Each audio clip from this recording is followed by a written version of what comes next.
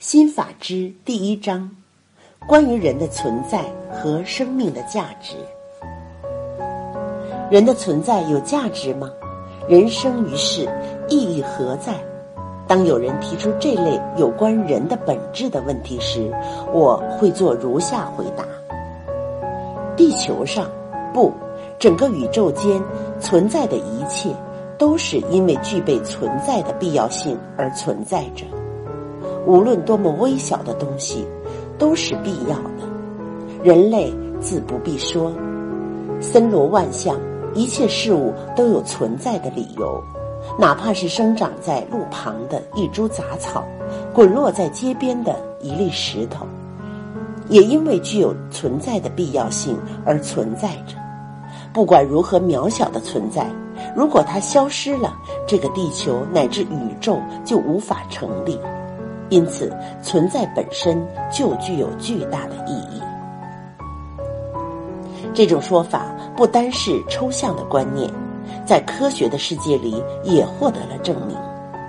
这就是能量守恒定律，就是构成宇宙的能量的总和，既不增加也不减少，而是恒定不变的。比如，我们燃烧一个物体，看起来它似乎消失了。实际上，只是变成了气体，燃烧后的残留物以及热量，其能量的总和仍保持不变。就是说，它并非消失，而是在能量的总和恒常不变的前提下，转换了它的模样、形态而已。因为能量的总和不变，所以无生物也罢，微小的物质也罢。它们全都是构成宇宙的不可或缺的元素，比如被奔驰的卡车弹进路边沟壑的石块，对于浩瀚的宇宙而言，也有其存在的价值。缺失了哪怕数百兆分之一克的微量物质，宇宙的平衡也会因此而被打破，所以没有不必要的存在。既然存在，就是构成宇宙的必要之物，或者说是必然性的存在。从这个意义上讲，无论多么微不足道的东西，都不能说不必要。反过来说，世上没有多余的东西，缺少了任何东西都会破坏宇宙的平衡。同时，宇宙中的所谓存在，并不是某种东西可以孤立存在。所有一切都在相互关联中存在。进一步说，因为其他东西的存在，才有自己的存在；因为自己的存在，才有其他东西的存在。一切都在相互关系中存在，都是相辅相存。释迦牟尼把这种现象称为“因缘而生”。释迦牟尼因打开了心眼，而达到了开悟的境界。获得了真正的智慧，洞悉了宇宙的真相，所以他才会说出这样的话。现在利用最先进的科学才能解释的宇宙观，释迦牟尼早在两千五百年之前就已经看透了、领悟了。一切存在绝非偶然，都因必要而存在。我们降生于世，生存于世，都是必然。存在本身就有价值，但是人的价值不仅仅是存在，具备智慧、具备理性、具备心性，因而人被称为万物之灵。人是地球上进化程度最高的生物，人应该具备超越存在的伟大价值。我认为这种价值就在于人能够为社会、为世人做出贡献。就是说，从浩瀚的宇宙看来，哪怕无所作为，但只要是存在就有价值。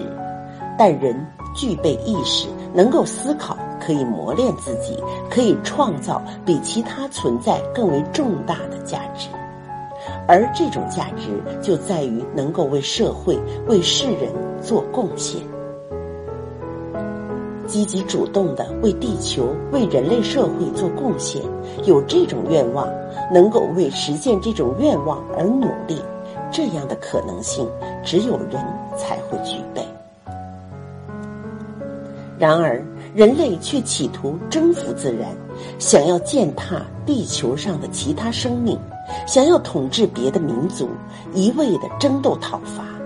在这种情况下，有智慧、有知识、有心性、能思考的人类将成为地球上最恐怖的存在。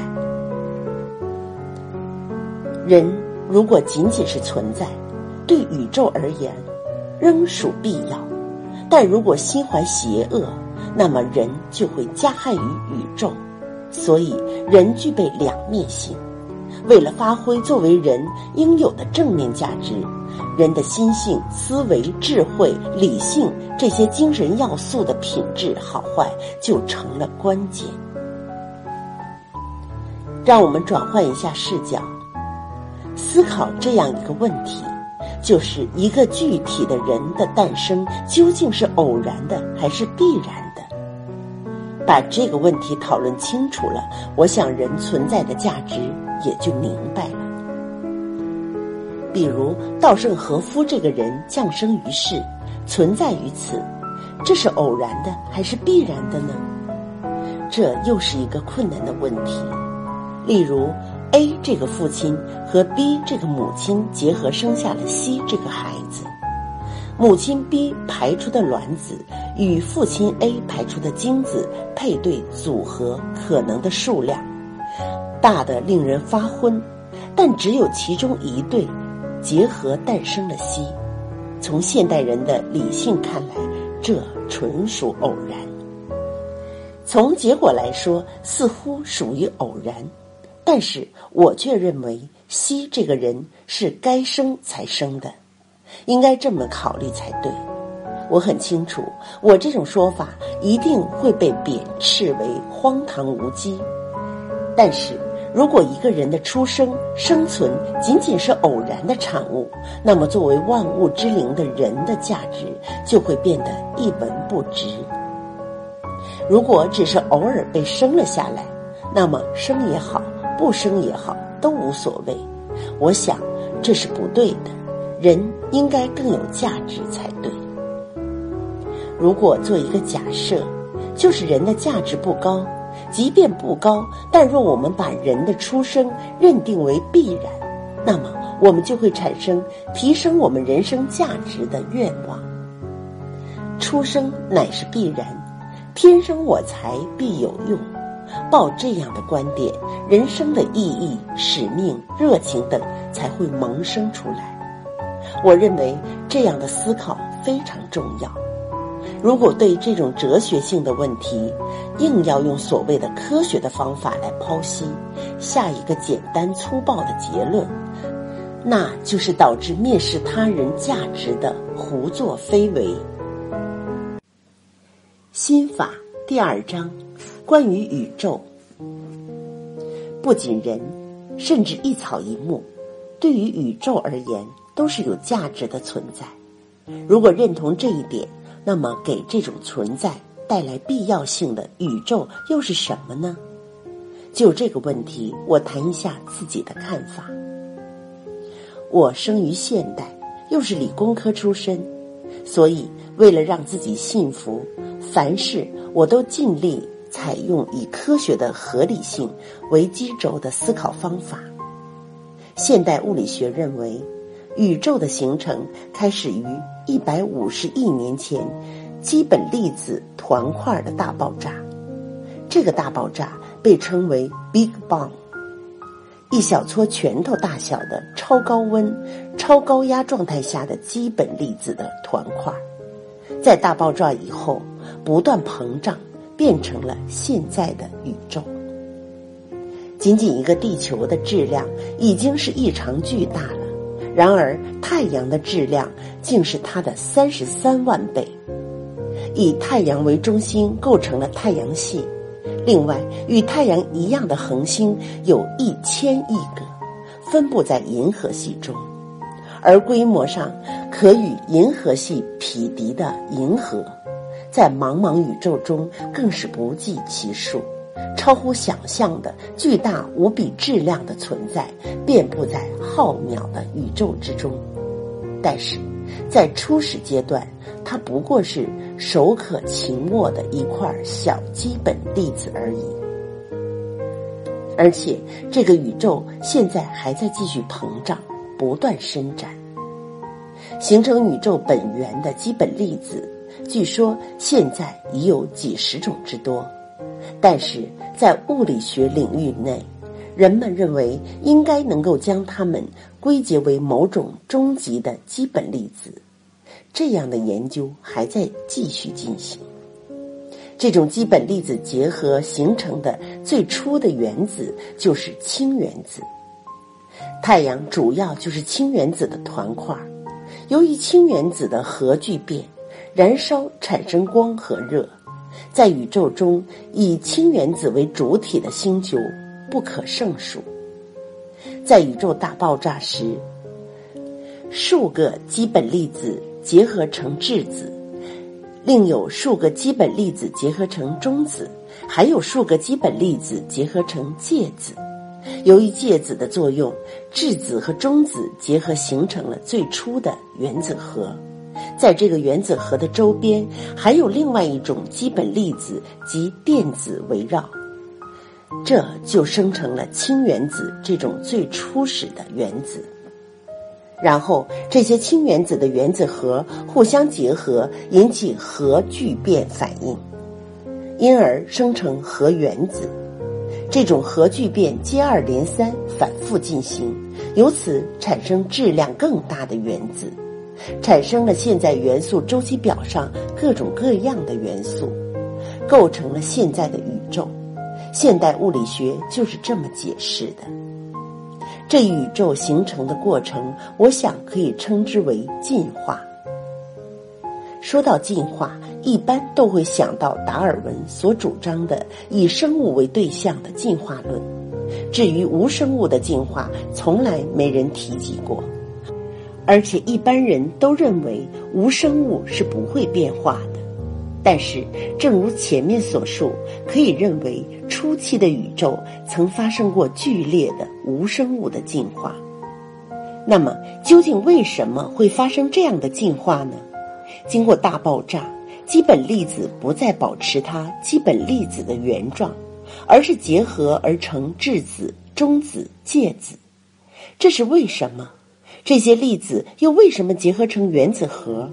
而它的周围又为什么非得有一个电子围绕而形成氢原子？氢原子又为什么发生核聚变而生成氦原子，然后生出各种各样的元素呢？对于这些问题，有一种意见认为，宇宙间存在着这样的法则。换句话说，从科学的观点看来。存在着一种宇宙的法则，宇宙遵照这种法则生成发展。但是我的理解是，与其说宇宙存在这样的法则，不如说宇宙间有一种潮流，它让森罗万象，一切事物不是维持现状，而是朝着生成发展的方向不断运动，也就是促使一切事物不断进化。换言之，比起无机物的法则这一说法，不如认为宇宙间存在着一种意志，即促使万事万物生长发展、促进其进化的意志。我认为这样的说法更好。为了便于更多人理解，我用拟人法加以描述。如果有读者不喜欢这种叙述方法，也可以采用宇宙的法则这一说法。本来只有基本粒子的宇宙，经大爆炸之后产生了各种原子，原子结合成分子，分子演变成各种无机物，接着孕育生命的生物诞生了，一直进化到人类这种高级动物，由这一切构成了现在的宇宙。我的理解是，无机物的进化、生物的进化、宇宙间一切事物的进化，都是在促使万事万物生长、发展、进化的宇宙的法则、宇宙的意志的作用下完成的。这种法则，这种意志促成进化，在进化过程中，基本粒子聚合成原子、分子、高分子，生成蛋白质，由此构成 DNA，诞生生命。生命诞生之后，进化依然持续，永不停歇。就是这样，促使一切事物都朝着发展的方向前进。这种宇宙的意志存在于我们生物之中，同样也存在于石块之中。换言之，宇宙的意志乃是一切事物的本源。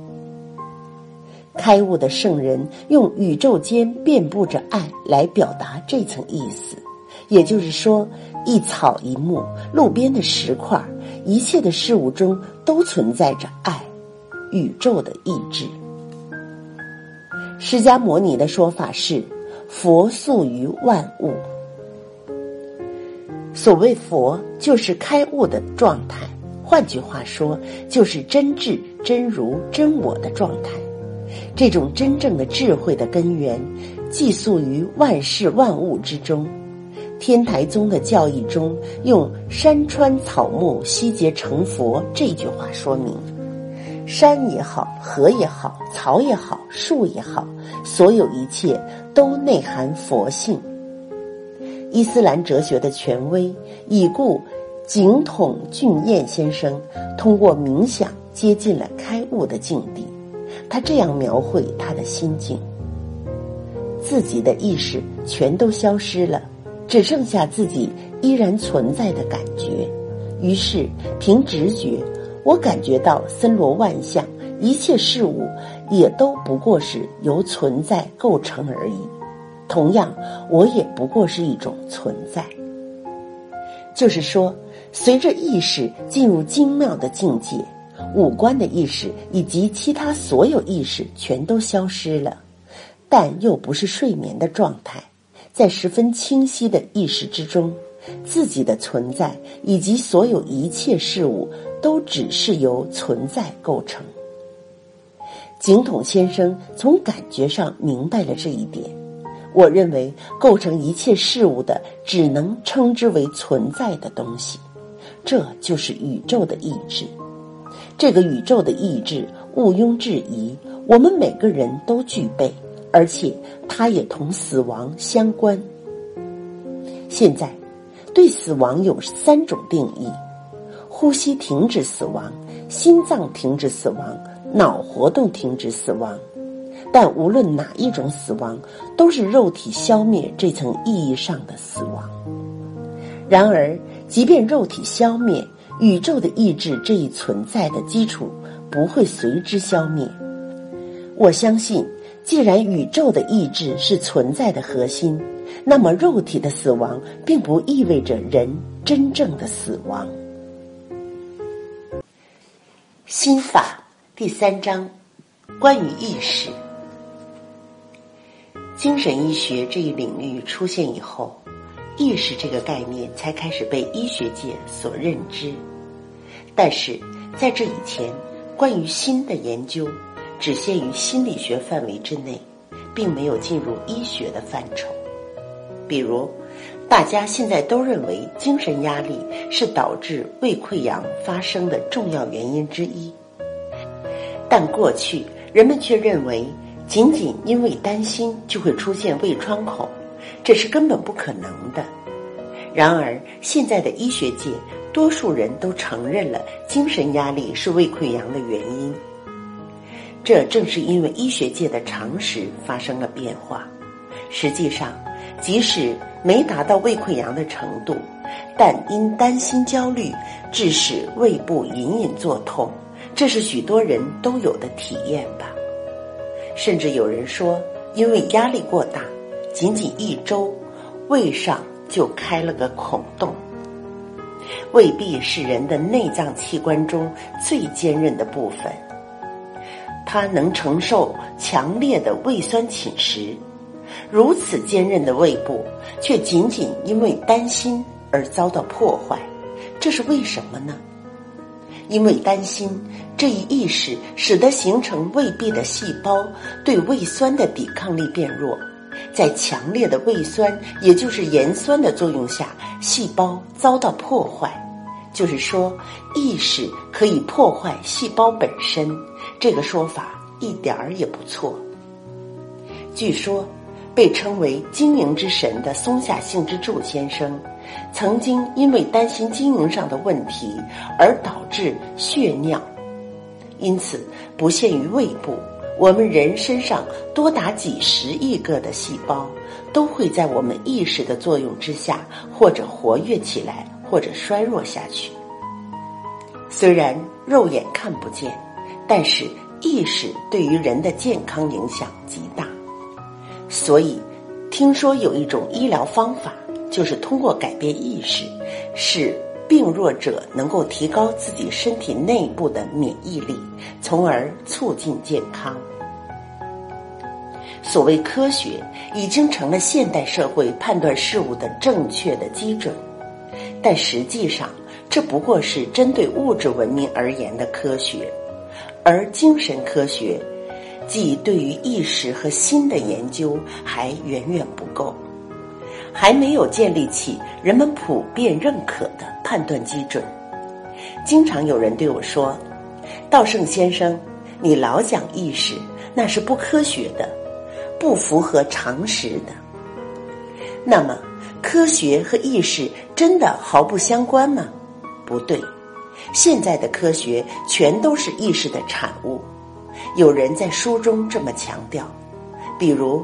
正因为有了希望在天空中飞翔这样的念头，才导致意识跃动，促使人不断钻研改进，结果就发明了飞机。这样说来，科学在开始的时候就是一种意识。我的观点与此相同。我认为，创造物质文明、创造科学的，原本就是意识。已故的京都大学名誉教授田中美之太郎先生，是二战以后日本最具代表性的哲学家。他说：“所谓发明、发现，只有在被证实以后才成为科学，在这以前，它属于哲学的范畴。例如，伽利略提出地动说时，遭到了当时基督教社会的强烈反对，但伽利略却说。”即使反对，地球照样在转动。就是说，地球转动这个事实，在被证明之前，它只是某些人所持有的哲学信仰而已。所以，一切都起源于心的作用，一切都是从意识开始。所以，意识这个东西极为重要。那么，所谓意识究竟是什么呢？从大脑生理学的角度讲，意识也好，意志也好，思维也好，都由脑细胞的作用产生出来。但是，我认为不仅如此，它还包括与生俱来的意识和意志，那是人在刚刚出生时就已经具备的东西。我虽然这么说，却无法确切的予以证明。但是，我们观察小孩的发育过程。有时会发现不可思议的事情。从生物学上，随着孩子的成长和脑细胞的发达，孩子开始有了智慧，能够开口说话了。但刚刚学会说话之际，他们突然会说出一些父母和周围的大人们从没有教过他们的话。三岁左右的小孩怎么会那么少年老成？父母很惊讶。这样的现象并不少见。我的解释可能会被认为不科学，但我的推测是：小孩除了有脑细胞的发育而产生的意识，以及有经验过学习而获得的知识之外，还有小孩原本就有的东西。后者让小孩说出了让大人惊奇的话。通常。我们因为脑细胞的作用而动嘴说话，但偶尔也会因为原本就有的东西刺激脑细胞，而让话语脱口而出。我想这种情况也应该存在。那么，所谓原本就有的东西又是什么呢？前文中已经谈到，我认为在人类的根源中存在着宇宙的意志，在这种意志的作用下，会发生轮回转生。人们在过去世代经验过的意识会被承袭下来，这就是所谓原本就有的东西。现世积累的经验知识作为意识被继承，寄宿于 A 和 B 这一对父母的精子和卵子结合而成的生命之中。这种意识深藏不露，不会轻易表现出来。但是，由于某种契机，它又会像间歇泉一样，时而喷涌而出。小孩讲出没人教过的话，我想这种现象的发生原因就在于此。如果是这样，那么“狼心谴责”“狼心发现”这种说法也能得到解释。人在现世从生到死积累了经验，而脑细胞对这些经验做出反应，人才有了喜怒哀乐的行为。与此相对应，从过去世代积累的原本就有的东西，在这里也可以认为是从过去世代继承来的人格，会发出疑义：“喂，你这么做不对呀。”于是。脑细胞中的意识就会做出反省，啊，是错了，这就是我们平时所说的良心谴责、良心发现。在宇宙的意志之上，加上过去世代造就的人格，再加进现世积累的经验，三者的综合，我将称之为意识体。意识体在肉体灭亡，一般称之为死的时候，从肉体中脱离出来。在迎来死亡的时候，如果有人问我你在现世干了什么，我该怎样回答呢？我创办了京瓷，把它做成了一个大企业。这样的答案对于意识体而言没有任何价值，因为肉体已不复存在。哪怕拥有几千亿的财产，又有什么意义呢？那么有价值的东西是什么呢？就是人生在世时所塑造的人格、人性、灵魂、意识体。它不会随着肉体的消亡而消失。你一生努力不懈，不断提升自己，以致拥有了如此高尚的人格。我认为这样的评价才是人生的价值所在。就是说，我们活在现世的目的，就是提升自己的人格。提升人格这句话，用别的词汇表达的话，可以是纯化心灵、美化心灵、塑造丰裕的同情体谅之心等。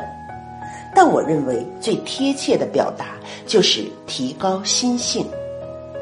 这样，人生就可以用一句话表达：人生就是提高心性的过程。因此，不管事业成功还是失败，不管人患病还是健康，所有的一切后面还会详细阐述，都是创造宇宙的造物主为了提高我们的心性而赐予我们的修炼的场所。佛教称为修炼的道场，如此而已。我们在现世的一切体验，都是宇宙造物主为了塑造我们的人格，变着手法给予我们的考验和锤炼而已。比如，对于开始创业的人来说，最大的期待莫过于事业走上轨道，公司不断壮大。那么，如果事业失败，公司倒闭，他就是人生的败者吗？我认为不是，失败。乃是造物主为了提升他的心性而给予他的严酷考验，看他能不能在痛苦的深渊中再度崛起。有的人经受不住这种考验，被失败和痛苦所压倒，精神崩溃，或者自暴自弃，甚至靠偷盗他人的财物，借以苟延残喘。有人甚至走向极端，以自杀告终。但也有人从正面接受失败的悲剧，更加努力、不懈奋斗，由此提升了自己的人格。不仅失败是考验，其实成功也是一种考验。造物主故意让你成功，借以测试你的人格。成功了就得意忘形、傲慢不逊，这种人因为成功而堕落，俗不可耐。另一种人却领悟到成功并不是只靠自己个人的力量，因而更加努力，在这过程中继续提升自己的人格。成功也好，失败也好，都是宇宙的造物主给予的考验。造物主正在注视着你，看你如何应对这些考验。不管成败，都能凭借。造物主提供的考验机会，塑造自己美好心灵的人，这才是真正的胜者。相反，经不住这种考验的人就是败者。美国著名的残障教育家海伦·凯勒背负着失明、失聪、失语三重苦难。一般说，他如果怨恨父母、怨恨命运，甚至怨恨上帝，也不为过。与他相同境遇的人或许会悲叹：“我不曾做过坏事儿，为什么单单让我遭此不幸？”他们诅咒周围的一切，以致含恨而终。但是海伦·凯勒却毫无怨恨。不仅如此，他还以无比顽强的毅力克服了难以想象的困难。他怀着大爱去帮助比自己更为不幸的人们。他塑造了自己伟大的人格。如果你读过残障作家以武阳匡先生写的《五体不满足》的书，你会发现以武先生的个性充满阳光，他的父母很了不起，而他本人的灵魂更是光芒四射，一切都向善的方向思考，顽强奋斗，绝不服输。宇宙的造物主给了人各种各样的考验，看他怎样接受考验，怎样提升心性，怎样纯化灵魂。这样看来，人生确实就是为了修炼心灵而建立的道场。释迦牟尼用“诸行无常”这句话来描述人生，一切事物都是无常的，千变万化的。新的考验会不断的降临，因此释迦牟尼说：“人生极苦。”释迦牟尼所说的苦，正如前面提到的，它不仅指失败和苦难，也包括了成功。所以，从某种意义上讲，成功也是一种苦难。人们应该做出努力，将这种类型的苦难朝着好的方向转变。不理解这个道理。成功而不知足，依然在欲望的泥潭中沉迷挣扎，那才是真正的不幸呢。心法第五章，关于欲望。有人说人有原罪，这与人是最有价值的存在似乎相矛盾，但绝非如此。佛教认为。罪行的根源在于烦恼，其中六大烦恼分别是贪、嗔、痴、慢、疑、见。首先是贪，就是一切都想据为己有的贪婪之心；所谓嗔，就是不管他人的感受，我行我素，稍不如意就发火动怒的浅薄之心；所谓痴。就是把变化无常的世界看作一成不变。当自己的幻想破灭时，就发牢骚、鸣不平，对佛的智慧一窍不通的愚痴之心。所谓慢，就是傲慢不驯之心；所谓疑，就是对释迦牟尼宣导的真理抱有的怀疑之心；所谓见，就是总从负面看待事物之心。这六大烦恼中，有以贪嗔痴是人间烦恼之根源，称之为三毒。释迦牟尼所说的六大烦恼，原本是人生存之必须，缺乏他们，人就不能维护自己的肉体。例如疑就是多疑、疑心大，换言之就是小心谨慎。原始时代缺乏尖牙利爪的人类，为了在丛林中生存，需要警觉，需要小心从事，以防患于未然，这是极其重要的。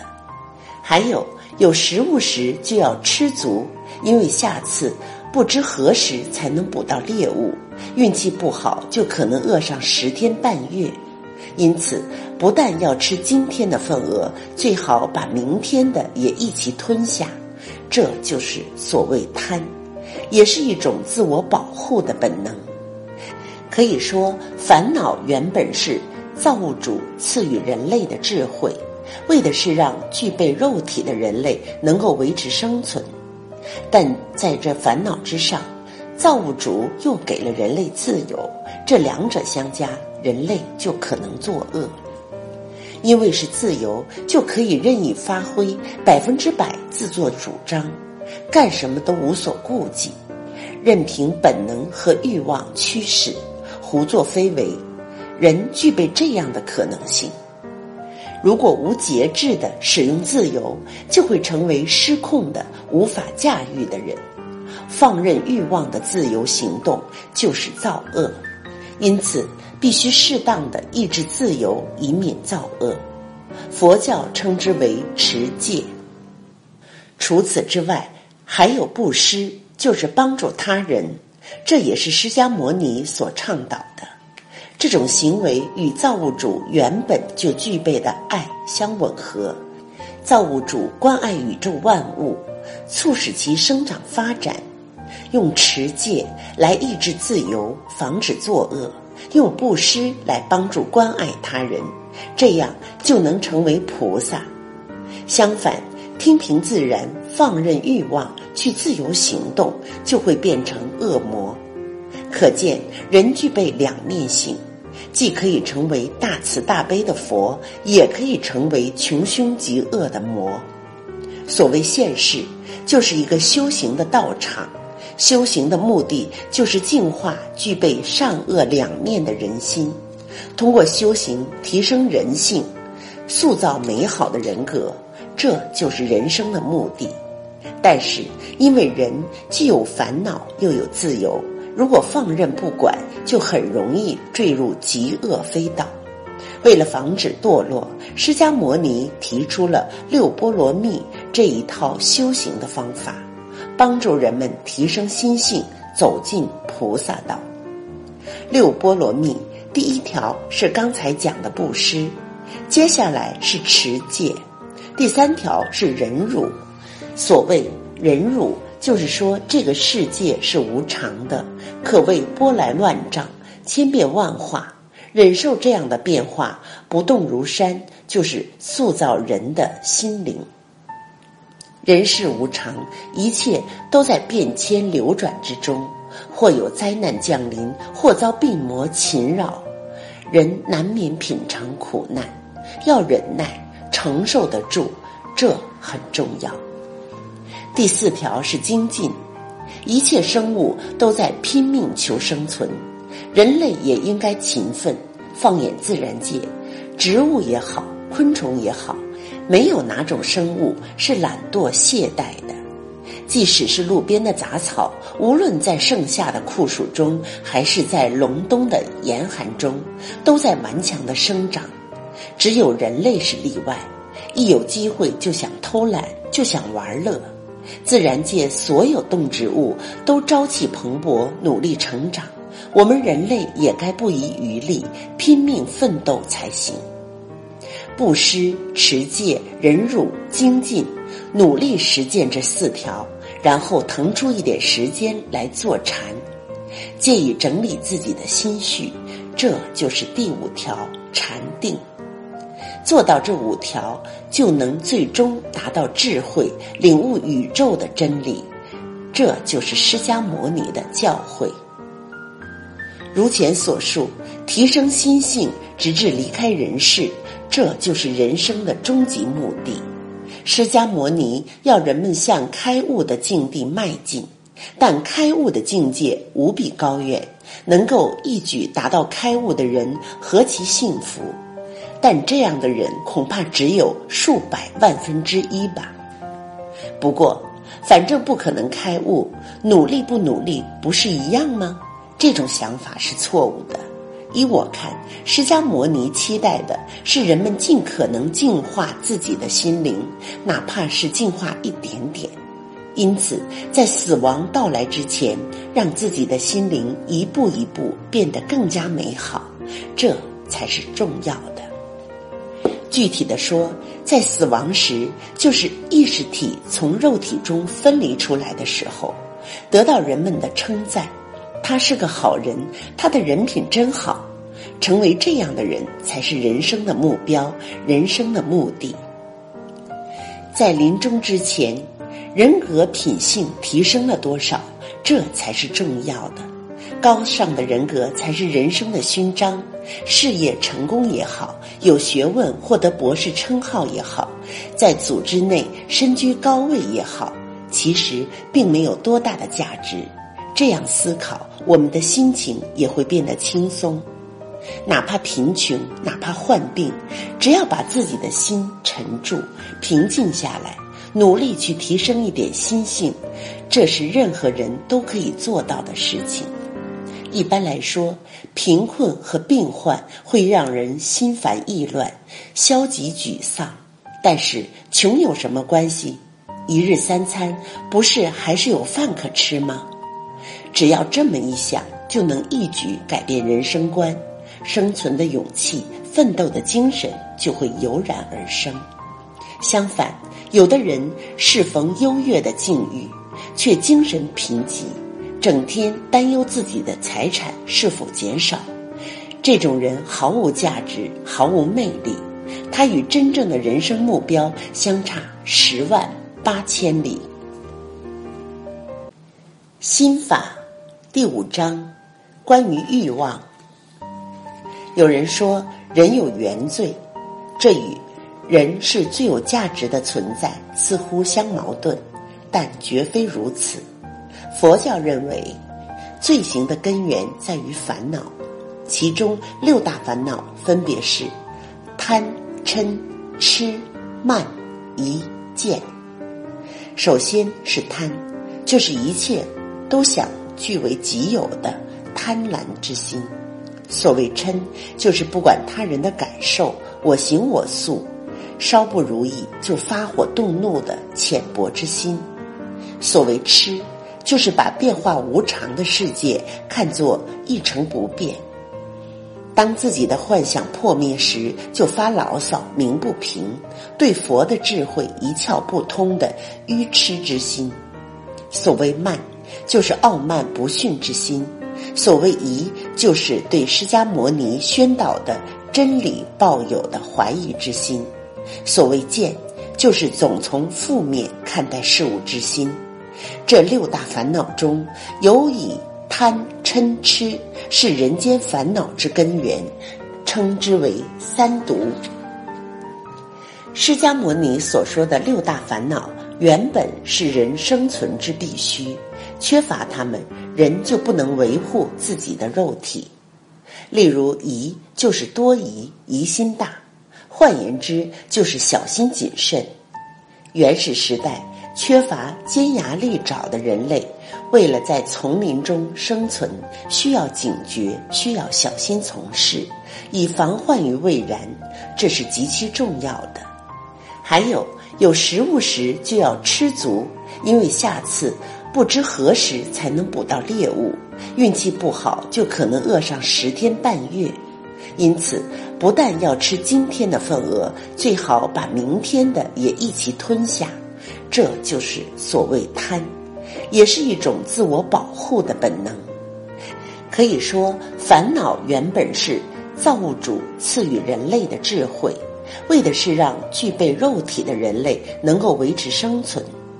但在这烦恼之上，造物主又给了人类自由，这两者相加，人类就可能作恶。因为是自由，就可以任意发挥，百分之百自作主张，干什么都无所顾忌。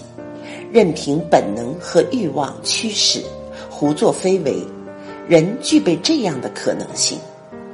如果无节制的使用自由，就会成为失控的、无法驾驭的人。放任欲望的自由行动就是造恶，因此必须适当的抑制自由，以免造恶。佛教称之为持戒。除此之外，还有布施，就是帮助他人，这也是释迦牟尼所倡导的。这种行为与造物主原本就具备的爱相吻合。造物主关爱宇宙万物，促使其生长发展，用持戒来抑制自由，防止作恶；用布施来帮助关爱他人。这样就能成为菩萨。相反，听凭自然、放任欲望去自由行动，就会变成恶魔。可见，人具备两面性，既可以成为大慈大悲的佛，也可以成为穷凶极恶的魔。所谓现世，就是一个修行的道场。修行的目的，就是净化具备善恶两面的人心。通过修行提升人性，塑造美好的人格，这就是人生的目的。但是，因为人既有烦恼又有自由，如果放任不管，就很容易坠入极恶非道。为了防止堕落，释迦牟尼提出了六波罗蜜这一套修行的方法，帮助人们提升心性，走进菩萨道。六波罗蜜。第一条是刚才讲的布施，接下来是持戒，第三条是忍辱。所谓忍辱，就是说这个世界是无常的，可谓波澜万丈、千变万化。忍受这样的变化，不动如山，就是塑造人的心灵。人世无常，一切都在变迁流转之中。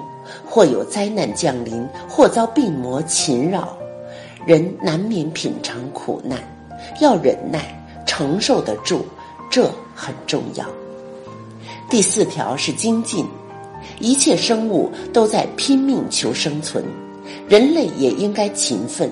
放眼自然界，植物也好，昆虫也好，没有哪种生物是懒惰懈怠的。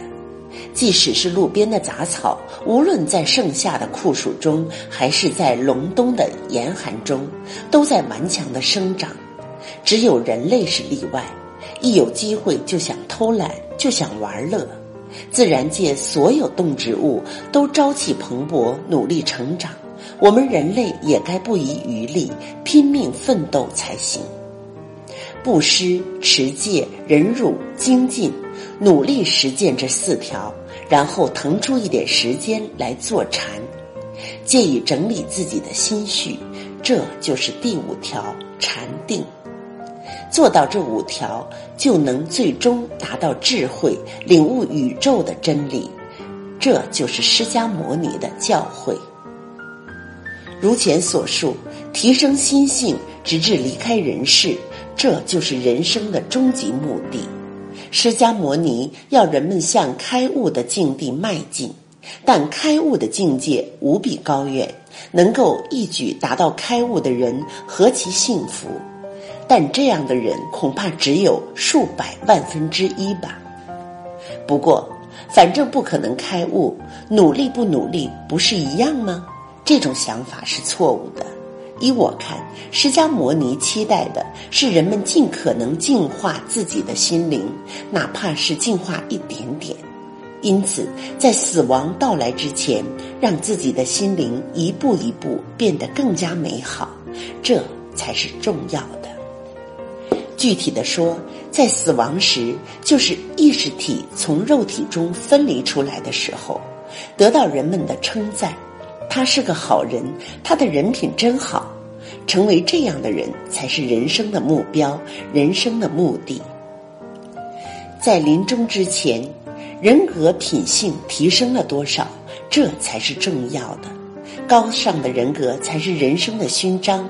事业成功也好，有学问获得博士称号也好，在组织内身居高位也好，其实并没有多大的价值。这样思考，我们的心情也会变得轻松。哪怕贫穷，哪怕患病，只要把自己的心沉住、平静下来，努力去提升一点心性，这是任何人都可以做到的事情。一般来说，贫困和病患会让人心烦意乱、消极沮丧。但是，穷有什么关系？一日三餐不是还是有饭可吃吗？只要这么一想，就能一举改变人生观，生存的勇气、奋斗的精神就会油然而生。相反，有的人适逢优越的境遇，却精神贫瘠。整天担忧自己的财产是否减少，这种人毫无价值，毫无魅力。他与真正的人生目标相差十万八千里。心法第六章关于意识体和灵魂。所谓意识，拧脸颊时感觉痛，就是意识。这是因为脑细胞捕捉到皮肤表面神经的反应，产生了痛这一意识。人既有这种附属于肉体的意识，正如前面所述，人还有原本就具备的意识，即所谓过去式、前世的意识记忆。一般认为，所谓记忆就是脑神经元中储存的信息，这是真的吗？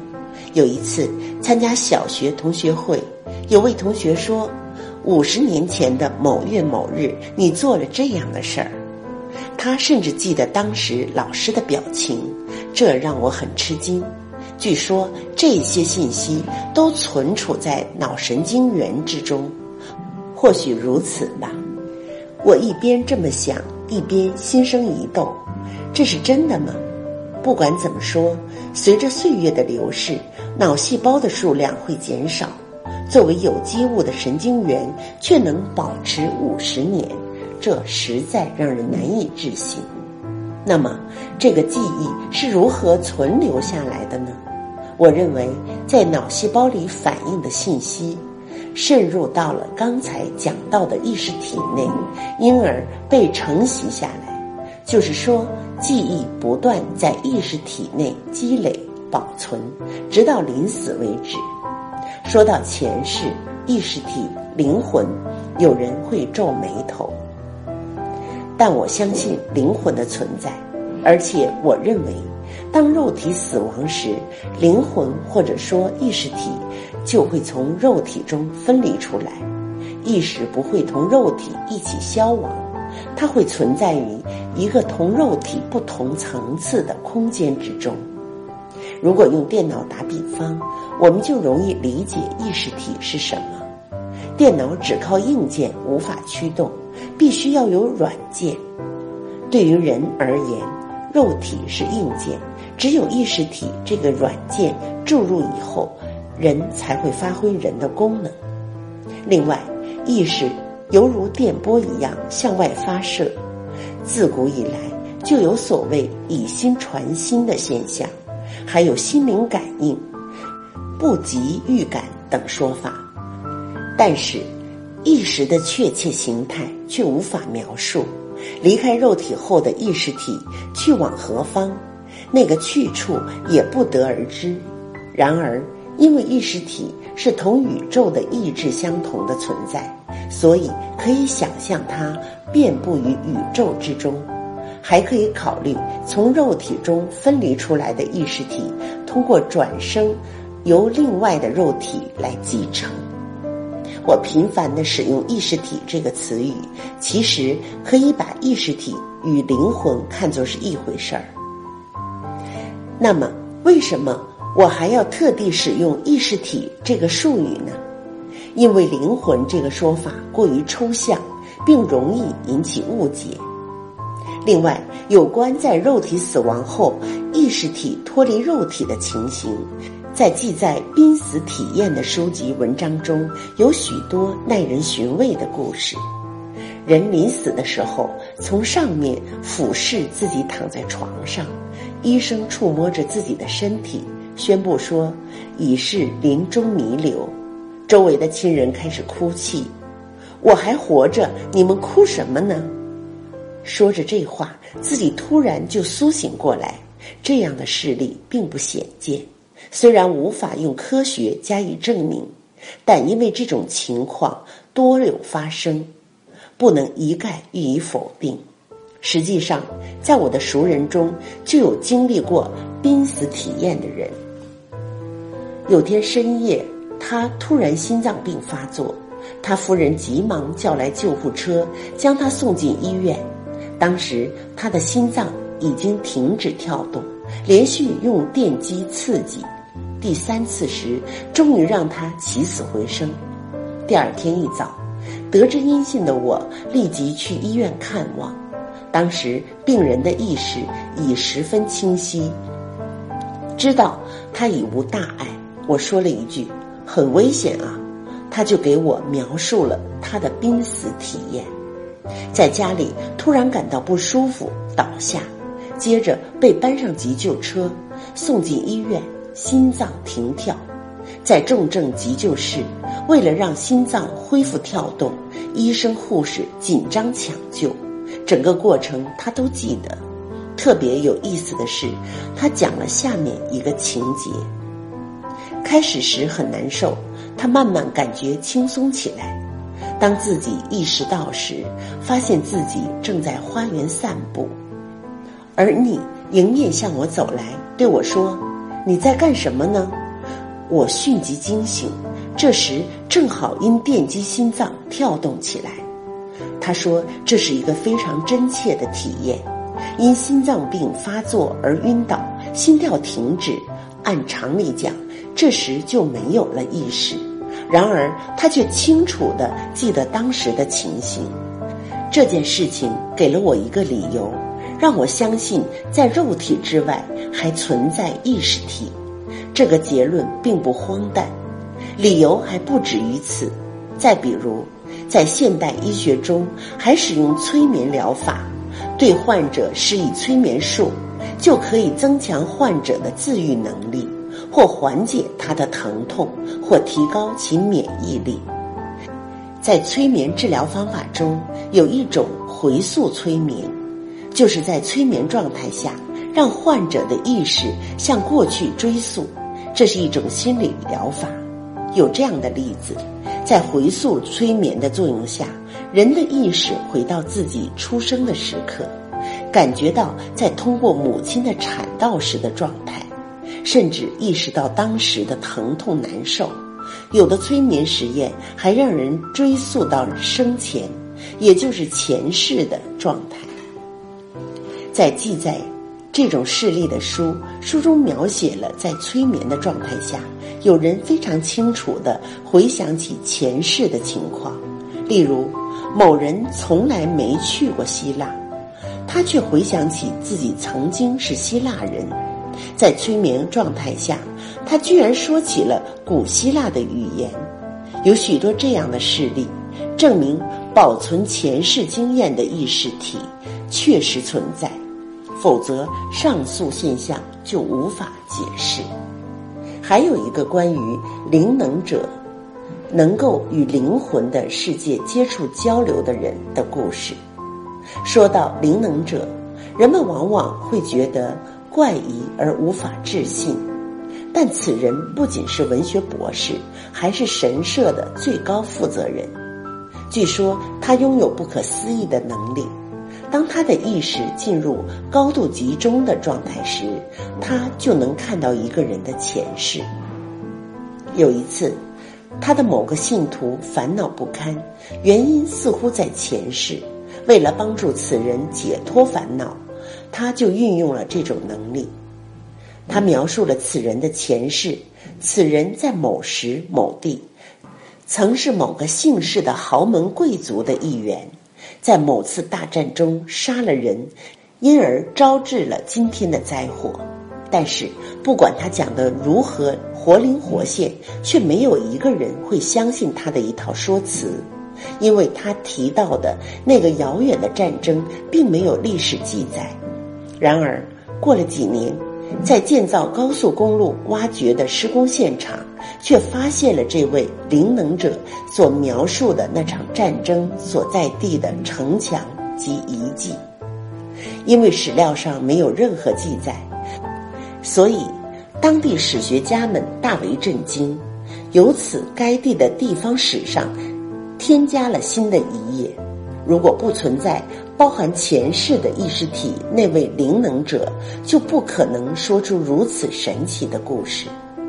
再举自己身边的例子，我也是一位父亲，有时听孩子说话会有这样的感觉。我家的孩子怎么会说出这样的话呢？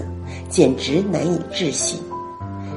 在体型上遗传了父亲的某些特征，脸型五官亦有相似之处，甚至言谈习性也有些雷同。但是，偶尔孩子会说出跟父母的感觉完全相反的异想天开的话。这是我家的孩子吗？我甚至产生这样的怀疑。这类事情。忽隐忽现。另外，我有三个孩子，三人的性格却迥然不同，这也让我纳闷儿。养育的过程相同，脾气性格却不同，而且这种不同并不是微小的差异，而是根本的不同。有的小孩生性急躁，有的却是稳重沉着、落落大方，让人难以相信他们会是亲兄弟。还有所谓“乌鸦窝里飞出金凤凰”，生出了能力大大超越父母的孩子，这是为什么呢？我认为，这是因为拥有前世经验的意识体渗透进了婴儿的体内。人死以后将会怎样？关于这个问题，三十多年前有一位京都大学的老师写了一本书，他认为。人死之后的所谓灵魂，像病菌一样浮游于空中。有的人家孙子的外貌酷似过世的祖父，就是因为那种浮游的物质进入了孙子体内的缘故。这种说法虽然有趣，我却不予采信。人在今世，在活着的时候，遭遇各种各样的试炼。这些经验都储存在意识体内。当这个人死了之后，他的意识体就会转生到另一个人身上。这是我的观点。为什么转生？因为在今世塑造的人格还不够圆满，有必要在下一个来世继续磨练。例如，某个意识体投胎于一富人家的孩子身上。这孩子从小就养尊处优，不但没受过挫折，没经过考验，而且要什么有什么，任性放肆，结果烦恼缠身，死亡时的人格比出生时还要糟糕。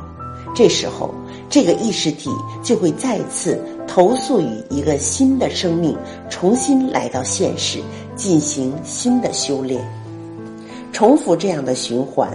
不断提升人格，慢慢接近神佛，心灵的纯美达到了如来的境界，提升到这么高的水准，就佛教的说法，不需要再轮回转生了。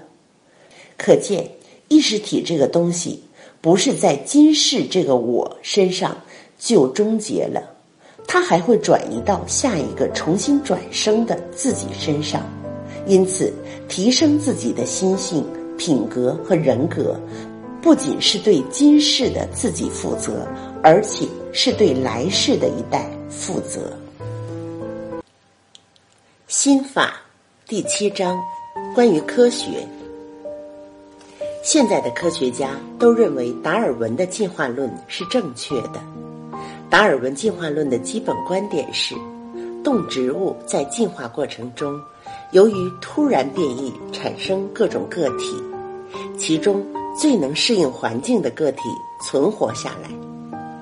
我虽然不是这方面的专家，却想对上述观点提出疑义。日前，我有机会与京都大学的原子物理学、宇宙物理学的老师们交换意见，他们果然无不信奉达尔文的进化论。当时我以昆虫的拟态为例谈了我的观点。有的昆虫看起来酷似枝叶或树枝，进化论认为，某种昆虫由于突然变异，产生了各种不同的个体，其中最适应环境的品种生存下来。但我的疑问是，变异未必变得像枯叶，即使像。怎么能像到那种程度呢？老师们想以概率的观点回答我的问题。他们说，在超乎想象的漫长的时间和广阔的空间中，这样的变异是可能的。针对他们这种说法，我提出反驳：昆虫面对天敌，生命悬于一线，出于求生的强烈的欲望和意念，作为自救的方法。他们希望自己能伪装成枯叶，难道不正是昆虫这种求生的意识，才促进了 DNA 的变异吗？前文提到，科学的进步是科学家先驱们想做这个、想搞成那样的意识活动导致的结果。如果科学家也是意识的产物，那么生物的进化不也可以看作意识的产物吗？有的分子生物学家认为，DNA 就是利己的，一心只想让自己的品种存活下来。但问题在于，因为外界的某种刺激，遗传基因的排列突然发生变化。仅仅用这种偶然因素来解释物种的进化，这说得通吗？由于某种偶然因素引起 DNA 排列稍许变化，因而患上癌症，这种情况或许不可否认。但因为意识的作用而促使 DNA 排列发生变化，从而引发癌症，这也是事实。我的观点是，DNA 的突变并不是仅仅基于外部的因素，意识体。意识这种内部的因素也会导致 DNA 的突变，比如大象的鼻子很长，进化论的解释是，偶然出现了鼻子很长的大象，因为这种大象适应环境，所以生存下来。那么，同大象处在同样环境下的其他动物的鼻子，是不是也应该很长呢？事实上，只有大象长了个长鼻子。再看看大象用鼻子把青草送进嘴里的样子，好像并不方便，似乎很难说这就是适应了环境。感觉上它不一定需要那么长的鼻子，所以我认为是大象自己希望鼻子长，才长了个长鼻子。长颈鹿也一样。如果只有长脖子才能适合环境，才能吃到大树的叶子，那么同一地区的其他动物也该同长颈鹿一样有个长脖子才对。但整个非洲热带草原，长脖子的也只有长颈鹿而已。人类的世界也一样，想这样做，想做成那样，这种意识带来了进步发展。此外，还有所谓职业脸，刑警有刑警的目光，小偷有小偷的眼神儿，就是说职业意识改变人的相貌。不仅如此，小时候大人告诉我，相由心生，心不干净，连面相也会变丑。这里的心，我用意识体这个词来表达。我认为意识甚至可以改变 DNA。DNA 的改变，有的时间较短，有的需要长期的演化。昆虫的拟态、大象的长鼻子、长颈鹿的长脖子，应该是长期意识的影响促成的。我的这种观点，明摆着是从正面挑战进化论，难免被扣上不科学的帽子。但是，我认为进化论未必正确。而且，我认为现代科学并不能解释所有的事物。进一步说，现代社会只重视科学，只习惯于用科学去解释事物。为了人类变得更好，为了创建更理想的社会，我们应该具备怎样的思维方式？应该建立什么样的哲学规范？这么重大的问题却无人问津。把是否符合科学作为第一原则，仅仅局限在这一框架内思考问题，事实上是行不通的。思考的角度应该是对于人类、对于宇宙，什么样的思维方式是必不可少的。但现在从这一角度出发的讨论完全没有，即便有人提出这种意见，也立刻遭到否定。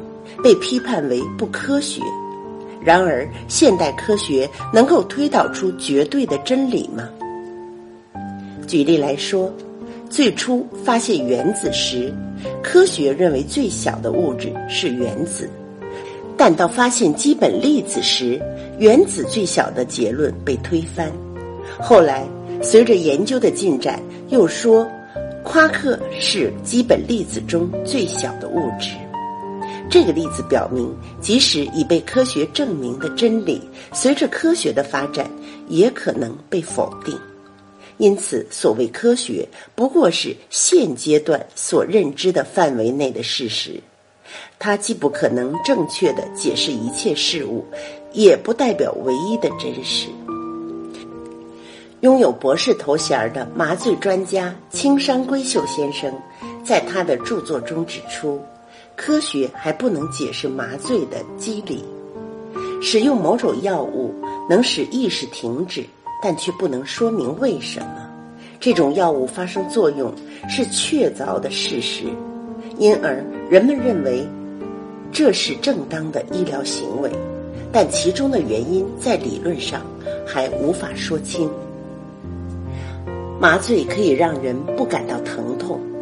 而痛觉是人最直接的一种感觉，在构成意识的基本层次上，药物发生了麻醉的机能，但科学至今仍然不能说明其原理。精神疗法中，听说使用抗抑郁的药物可以达到类似的效果。另外，听说有实验证明，用面粉代替感冒药。给患者服用，竟有三分之一的人治愈，这说明吃药就能治病。这种意识让他们恢复了健康。上述意识的功能，现代科学还不可能解释。科学界在现阶段不仅无法用自己的方法论来证明意识的作用，而且。当有人提出意识功能的问题时，就一概斥之为不科学，这难道不可笑吗？还有许多局部之和不等于整体，许多小的事实被确认了，被论证了，具备科学性，但将它们累积起来，未必能够说明全体。正如一部机器的每个零件都制作精细。将这些零件装配成机器时，机器一定能够顺利运转吗？答案是不一定。制造机器先要从整体上考虑机器的结构。由此看来，在思考人类和宇宙整体的时候，就需要站在造物主的视角上观察。只在局部上精雕细刻，绝不可能正确的理解整体。现在的科学，或者说现在的学者，他们往往只见树木不见森林，只论述局部而迷失了整体。所谓造物主的视角，就是观察和把握全局。为了让这个世界变得更好，我们人类应该具备什么样的思维方式？我认为这一点是现代社会最为必要的。心法第八章，关于人的本性。人性是善的吗？常常有人提这样的问题。性善说和性恶说两种观点会进行辩论，但我认为人的本性既不是善，也不是恶。前文谈到，人借着肉体降临尘世，为了维持肉体的生存，人被寓予了六大烦恼。同时，人还拥有自由。烦恼产生于欲望，在原始时代，放在第一位的是吃，没有粮食就无法为生，所以自己能吃饱，能给自己的家族足够的食粮，这就是基本的幸福。然而，人不能单独生存，或只和自己的家庭一起生活。无论丛林还是社会，都有邻居旁人，因为大家都拥有自由。为了满足自身的欲望，旁人或许会来抢夺自家的粮食。如果这样，为了自己获得充足的食粮，为了自己的幸福，人就会依据欲望的冲动，采取行动，陷他人于不幸。这种可能性是存在的。把这种可能性付诸实行就是恶，因为有自由，所以可以为所欲为，剥夺旁人的自由，在强调自己自由的同时，陷他人于不自由的境地。人就因为有自由，而在不知不觉中伤害他人，对他人作恶。所谓罪大恶极之人，大体上都是将自己的欲望极度扩张。一味强调自身自由的人，丝毫不顾及别人的人，作恶的可能性极高，而且本人并没意识到自己在作恶，这就更可怕，更难以对付。赤裸裸的依本能行事，自由过了头，必然作恶。释迦牟尼知道这一点，所以他提倡要抑制本能，要抑制欲望，要懂得知足。要持戒，遵循释迦摩尼的教诲，能够抑制自己的本能、欲望的人，就是不作恶的人。不仅抑制本能和欲望，而且积极帮助他人，有助人为乐精神的人，就是为善的人。结论是：人依据思想和行为的不同，既可以向好的方向发展，也可以向坏的方向发展。换句话说，人只要活着，因为具备自由，就有作恶的充分的可能性。同时，只要能抑制自己，就会不仅不作恶，而且可以行善。因此，需要超越性本善、性本恶的概念，需要理解手握自由的人，因运用自由的方法不同，既可作恶，也可作善。想要提升心性，抑制欲望，积极的为众人服务，人就会变善。如果能清醒的意识到这一点，努力持戒，努力利他，努力提升心性，就会不断朝善的方向发展。正如本书一开头所述，人只要存在就有价值，即使做了坏事，仍然有价值。但是，这种价值只是作为构成宇宙一部分的价值，即同无生物、植物、动物同一层次上的价值。在植物中，也有像藤蔓那样只顾自己生长，覆盖在其他植物之上，遮住阳光，使被攀附的树木枯死。动物中也一样。食肉动物为了自己的生存，要猎食别的动物，为了保护自己而牺牲对方，但这却不能算是真正的恶。他们只是分别拼命求生而已，并未考虑到对其他生命的影响。作为自由觅食的结果，牺牲了其他的生命。从某种意义上讲，因为自由，可以在自然界拼命求生。但这对于被牺牲的对象而言是做了恶，持这种看法也未尝不可。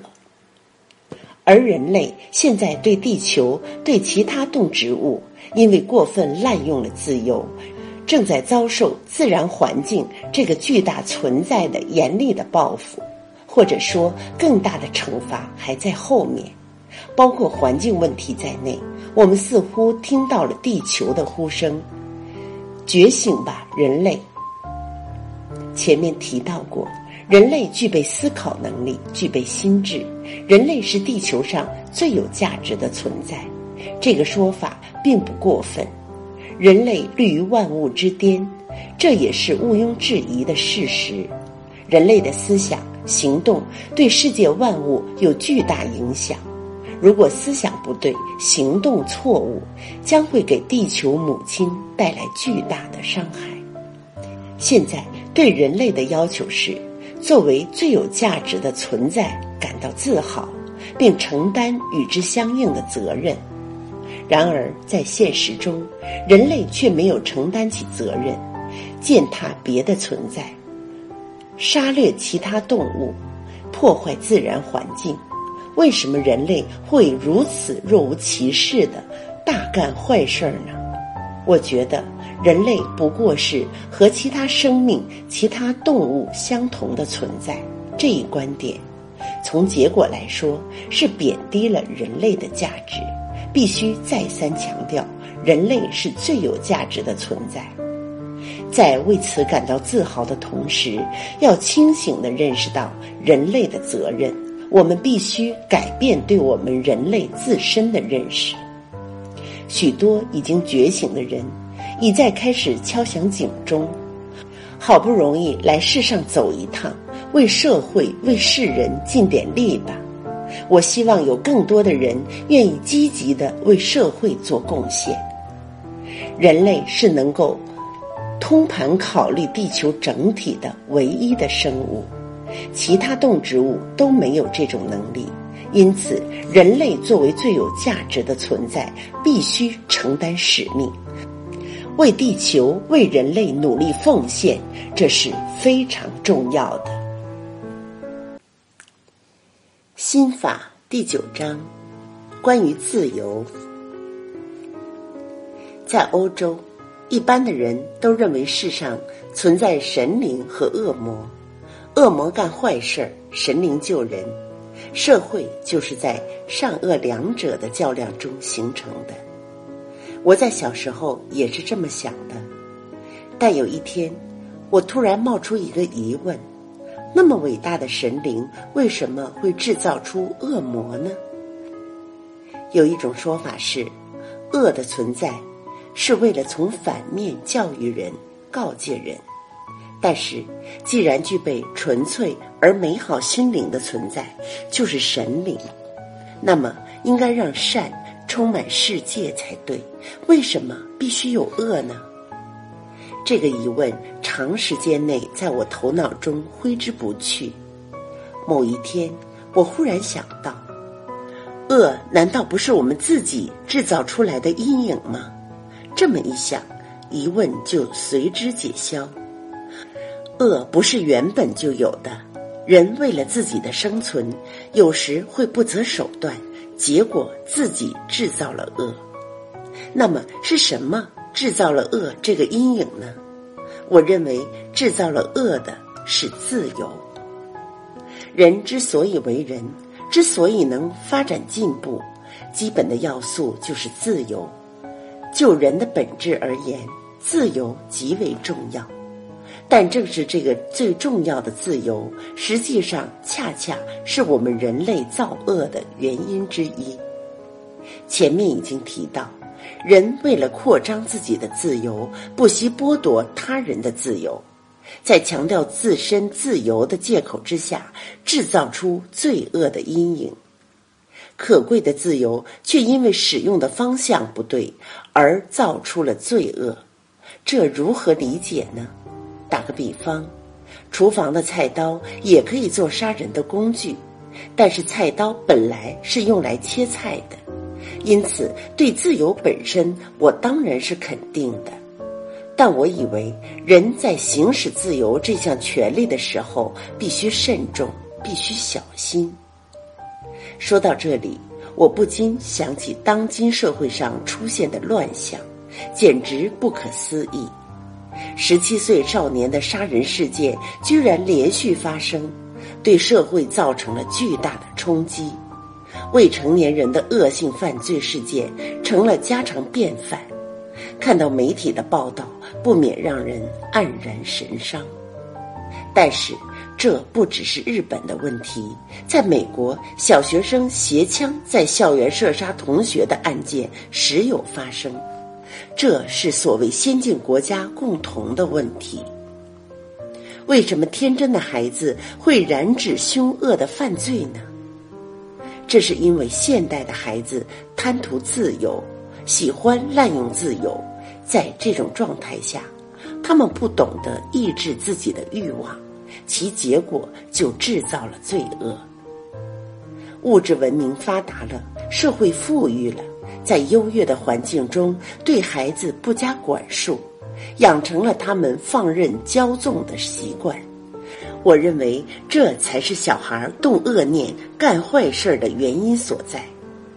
要面对并解决这样的问题，最需要的是觉悟。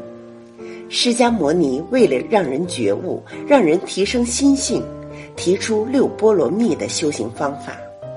这在前面也谈到，要为他人尽力，布施，要知足，要遵守戒律，持戒，要忍耐，有韧性，忍辱，要努力工作，精进，要把心沉住，保持心境平和，禅定。这样做了，就能进入悟境、智慧。其实，早在释迦牟尼诞生之前，自然界就已经把这些道理教给了人们。我们人类曾辗转于森林和荒野，为自己和家族采集食粮、捕捉猎物。从那个时代开始，到畜牧农耕时代，人类一直处在生存的危机之中。与危机朝夕相伴，如果捕不到猎物，就会连续三四天忍饥挨饿。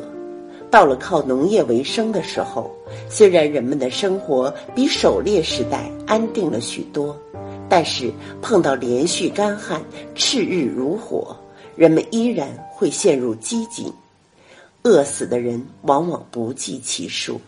这样的生存危机十分常见。处在如此残酷的自然环境之中，必须拼命的劳作，也就是精进的重要性，人们自然就能懂得，并把它看作不变的真理。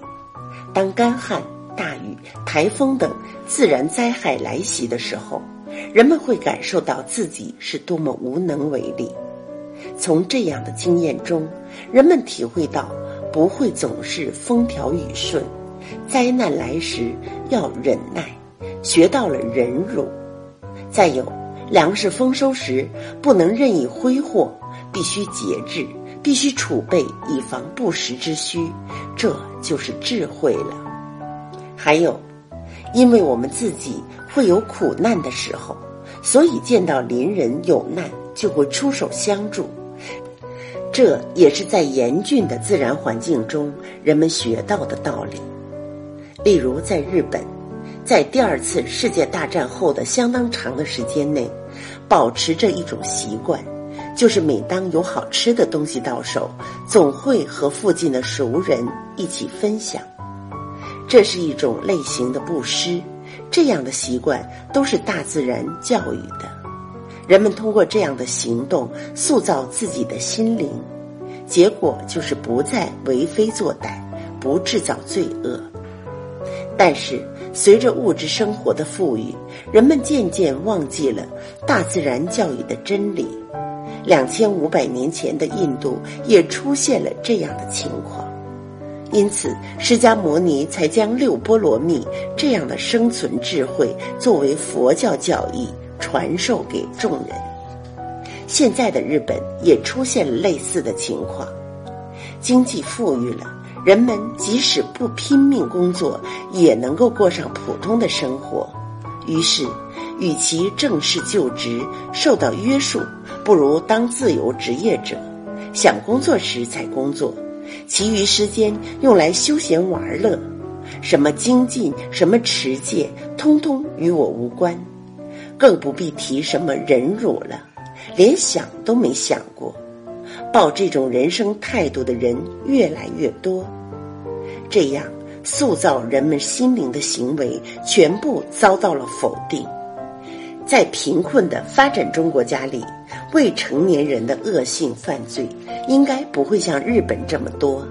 因为贫困，所以孩子从小就不得不帮大人做事。就是说，贫困的环境磨练了孩子的心灵。联合国的儿童权利公约主张，让儿童参加工作是无视人权的行为，必须保护儿童的人权。这当然有它的意义，但我认为。另一方面，关于自然界给予人试炼的重要性，我们也应该认真考虑。少年恶性犯罪的另一个原因，是在战后的教育中，过分强调了自由才是重要的这么一个理念。前面讲过，存在着对自己是自由，对他人却是作恶这样的情况。但战后的教育对这个道理只字不提，特别是最近，自由最重要，必须尊重孩子的自主性，这种论调已经作为教育方针贯彻执行。然而，对于个性远未成熟的幼儿园的孩子，就讲什么尊重自主性，这就等同于鼓励孩子以自我为中心，我行我素。为所欲为，我认为这种教育的结果，就培养出了长多大也不懂得抑制自己欲望的孩子。所以，十七岁少年的恶性犯罪，在该发生的时候就发生了。看媒体的报道以及所谓有识之士的分析，感觉到他们并没有明白最近青少年恶性犯罪的真正原因。在前面已叙述过，认真投入工作、吃苦耐劳、忍耐忍受、奉献他人，把这些思想行为抛在脑后，让自由无限泛滥。我认为这才是青少年恶性犯罪的真正原因。所以，教育孩子懂得抑制欲望的重要性，以及如何抑制的方法，这才是当务之急。至少有两条必须教给孩子，一条是帮助别人，就是布施；一条是明确不允许做的事，就是持戒；努力奋斗就是精进，忍耐忍受就是忍辱。这两条必须让孩子在生活实践中自己掌握。至于释迦牟尼讲的禅定，就是让自己的心沉静下来。当然也很重要，但是对于年轻人，我觉得首先必须教会他们布施和持戒。心法第十章，关于青少年犯罪。近年来，青少年犯罪的现象快速增加。仔细分析一下，犯人一般都是很懂礼貌的孩子。家庭背景也不错，有些甚至经济条件非常优越。但是，在过去贫苦年代的日本，孩子们的自由都受到了压抑、压制，而当时却没有发生今天这样的问题。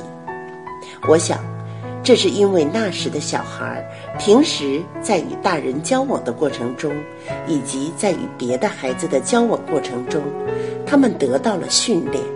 知道了如何抑制自己的欲望，而现在，孩子跟家庭成员的交往，与朋友之间的互动大大减少了，因此，该如何控制自己才好，他们弄不明白了。实际上，兄弟姐妹少了，因此，如果父亲买来一块蛋糕，独生子女就一个人独享了；但是如果兄弟姐妹有五人，蛋糕就会分成五份儿，因为不能分得那么均衡，有大有小，所以最小的孩子拿小的，最大的孩子取大的。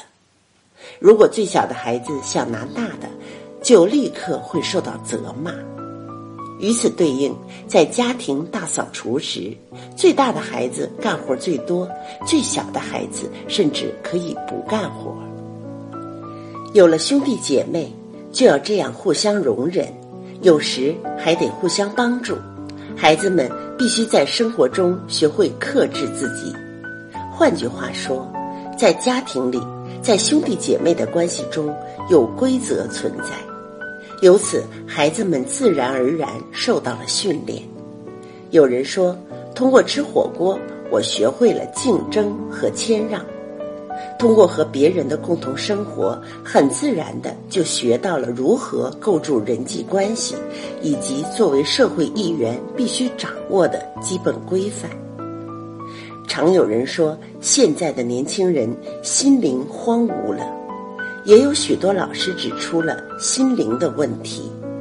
不过，虽然指出了心灵的问题，但如果问荒芜的心灵如何矫正，回答几乎千篇一律，告诉他心灵的重要性，咨询交谈，治疗病态的心灵等等。就是说，大家都不知道。心灵的教育该怎样做才能奏效？另一方面，有人说，发展中国家不存在十七岁犯罪的问题；还有人说，贫困的家庭不出心灵荒芜的孩子。照理说，穷人的孩子容易变坏，但恰恰相反，现在是富家子弟干坏事儿。在明治、大正时代。昭和时代初期，以及二战后的一个时期内，日本很贫困，即使小孩也得干活，否则就难以维持一家的生活。因为是小孩，难免要玩耍，要调皮，但只要父母一声斥责，要他们帮着做事儿，他们就会卖力。在这个过程中，孩子们学会了克制自己欲望。这也可称为持戒吧。因为必须干活，所以懂得了精进的重要性。要忍耐，这与忍辱相通。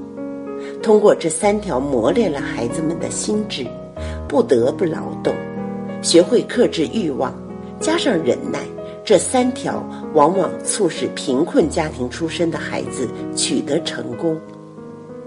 心灵之所以荒芜。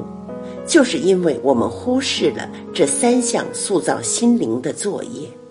针对青少年问题，首先要考虑：为了塑造孩子们的美好心灵，应该做什么？基本的就是教育孩子懂得克制自己的欲望、忍耐、勤奋。这三项是塑造我们心灵所必不可少。不教孩子这些，却去强调因为心灵荒芜，所以十七岁的问题发生了。甚至有人说，因为发生了十七岁的问题，所以必须考虑心灵的问题了。但谁也没有进一步去认真思考这个问题产生的原因和解决的办法。青少年犯罪的另一个原因是学校教育出现了问题。前面也叙述过，这是所谓培养自由的个性这个教育方针。根据这一方针，在儿童阶段就提倡尊重自主性，不能灌输思想，而要让小孩自发学习。但是这样的教育不能塑造孩子的心灵。释迦牟尼提倡持戒，遵守戒律。守戒就是不可做的事儿不做，这是理所当然的事儿。但是什么是不可做的事儿，什么是可以做的事儿，两者如果分辨不清的话，持戒就无法实行。而这是非教不可的东西，因此佛教用如果做坏事儿，死后会下地狱这样的方便法门教育众生。人们在恐惧之余，就会产生拼命守戒的想法。然而，现在的教育却对蒙昧未开、什么也不懂的小孩去强调启发性和自主性，而对什么是该做的好事儿、什么是不能做的坏事儿这种关键的戒律却不讲不教。还有老师说，孩子纯真，不教也知善恶。但是在我看来，绝非如此。小孩不懂得克制本能，他们类似充满我执的动物，在远古时代那种严酷的自然条件下生存。大自然会通过生活教育人们什么可做，什么不可做。同时，不能遵守这种规则的人会被无情的淘汰。但是在生活富裕的现代社会，大自然的教育就不奏效。正因为如此，就必须通过教育，明确而切实的教会孩子们分辨作为人该做的好事儿和不该做的。坏事儿。心法第十一章，关于人生的目的。一般来说，人认识到自己活在世上，开始产生生存意识，那应该是在懂事之后。从出生到懂事之间，人不会思考自己为什么要降临人世，而且即使懂事之后。在相当长的一段时间内，在父母的保护之下，人仅为生存就需竭尽全力。要到十二三岁，人才会开始思考人生的问题。虽说因人而异，但人开始思考人生的问题，往往很大程度上是受了父母和老师的影响。按照父母、老师明确人生的目的，树立大志，朝着目标挑战的这种教导，设计构思自己的人生目标。许多家长、老师把孩子要出人头地视作正确的人生目的，努力学习，考进好学校，成为有出息的人，而孩子们也会真心为此目的而用功读书。学习好的孩子顺着这条路不断奋进，在为了出人头地而努力的过程中，更明确肯定了出人头地就是人生的目的；而学习不好的孩子，在这过程中就会感受到挫折，升学困难就只好去工作，在工作中体会到社会的各种人情世故，于是有人就会想。难得这仅有一次的人生，与其过得悲悲切切，不如过得快快活活。在人生的过程中，随着年龄的增长，无论是想出人头地的人，还是想轻松潇洒过日子的人，他们的人生目的都会发生变化。这是因为他们感觉到死亡的威胁正在一步一步逼近自己。于是，为了长寿，得注意健康啊。这时就把健康当做了人生目的。相同辈分的老年人相聚必谈健康，话题不外乎这种食品对健康有益，药是这个好，我生了这个病你也要小心啊，哪位医生好等等，把更多的时间花在了维持健康上。即使是立志要出人头地的人，也把这目的搁在一边，工作也多少放松一点，而把健康放到了首位。所谓长寿，意味着要延长肉体生命的时间。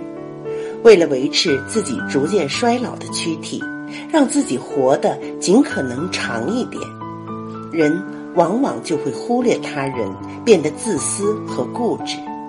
只要对自己有利就好的想法，就会逐渐抬头。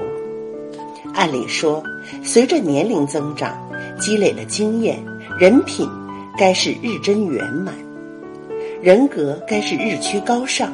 但恰恰相反，因为对健康，也就是对肉体的执着，而滋长了利己之心，带来了老丑和欲望痴呆症。现在的日本，这种倾向似乎愈演愈烈。人的生活方式本来就千姿百态，天资聪明的孩子可以梦想通过努力而出人头地，稍稍愚昧的孩子可以做出现实的选择，这样也就行了，从而轻松潇洒的度过仅有一次的人生，这些都无可厚非。然而，即使出人头地了，也就限于这一世，名声、财产、地位都是死带不去，肉体留在了现地，能拜往彼岸的，前面已经叙述过，只有灵魂，也就是意识体而已。另外，不管在现世过得多么潇洒多彩，死后留下的灵魂只有潇洒多彩一种感觉，人生将没有意义。我们死后留下的灵魂意识体本身具有多大的价值，这才是人生的意义所在。活在世上，获得了名声，获得了财产，获得了很高的地位。这些能够成为灵魂的价值吗？另外，度过了一个潇洒多彩、波澜万丈的人生，就会提高灵魂的价值吗？我认为答案是否定的。在有生之年，为社会、为世人做出了多大的贡献，就是说，活着的时候做过多少好事、善事，这才是万人共通的灵魂的价值。提升人性及磨练灵魂，这是最重要的。磨练灵魂，塑造高尚的人格，这才是人生真正的目的。忽略这个目标，人活着就没有意义。虽说每个人走过各自的道路，到达人生的终点，但不管哪种道路，都是造物主为了磨练人生而赐予的道路。我们应该这样去理解。我认为，我思考的这个人生最终目的，如果能够在小学时期就灌输给孩子，那么孩子们就可以度过一个更为美好的人生。出人头地，追求成功可以，想过一个潇洒多彩的人生也可以，但是那都是人生的一个过程。人生的目的在于塑造高尚的人格。我觉得最好在十二三岁，孩子树立人生志向的时候，教给他们这个观念。或许那时他们还难于理解，但是只要在他们脑海中留有印象，到了青年或壮年时期，他们就会时而想起。只要如此。此前的教育就会起作用，不会徒劳无功。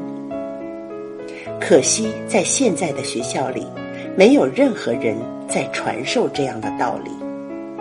这样的道理本来应该由哲学家来阐明，但是他们的理论往往抽象难懂，他们没能用青少年可以理解的语言讲述人生的目的和意义。另外。现在的宗教家们也没有起到教导人生目的的作用。人们抱怨这是一个良心丧失的时代，抱怨物质文明发展了，但精神文明却没有随之发展。我想原因就在这里。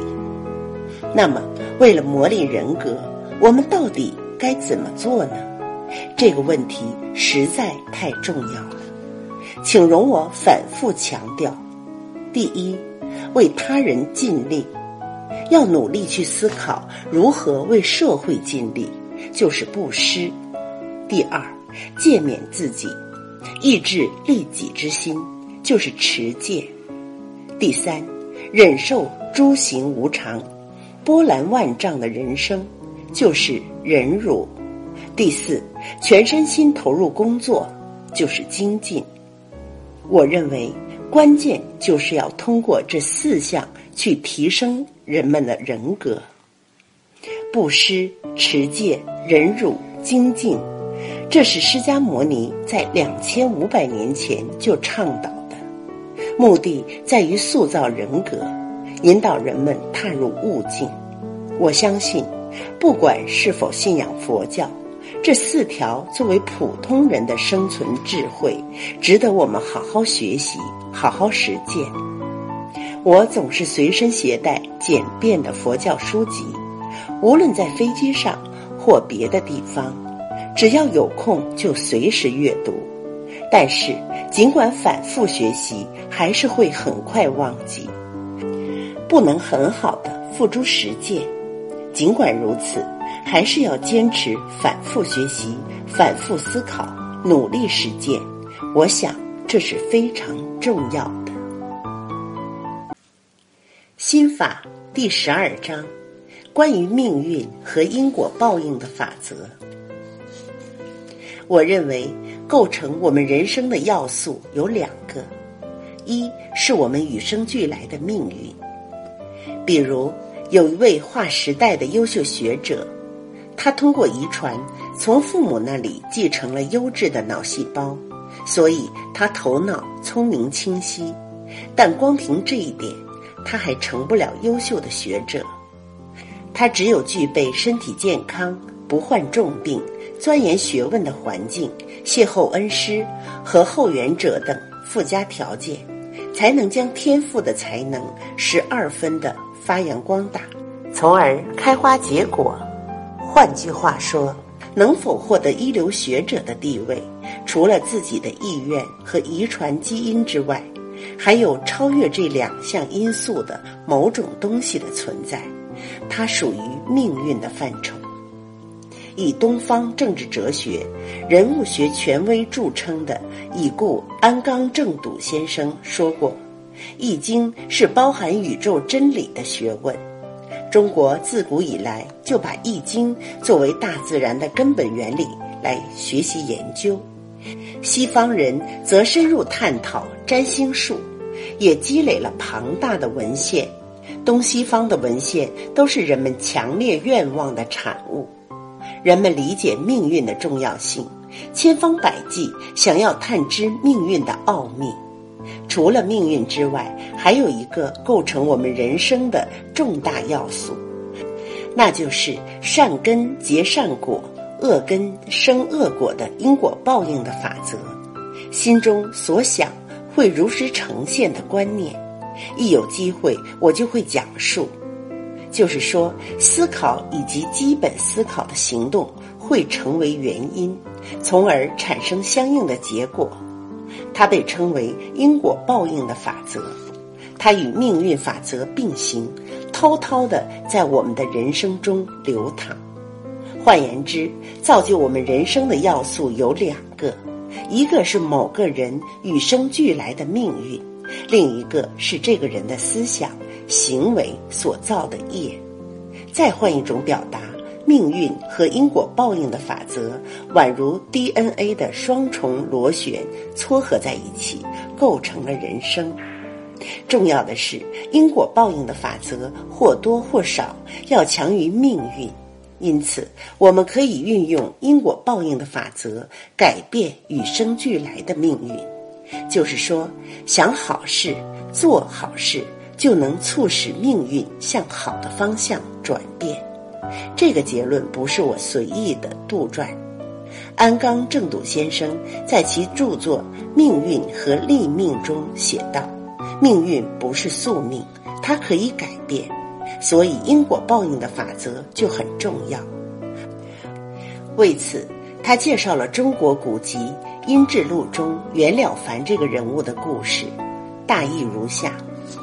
袁了凡本名袁学海，出生于医生世家，父亲早亡，由母亲一手养大。母亲希望儿子继承家业，学习医术。有一天，家中来了一个留着胡须的老人。老人说，他在云南专门研究易经，因受天命来向袁学海传授易经真髓。母亲或许要这个孩子当医生。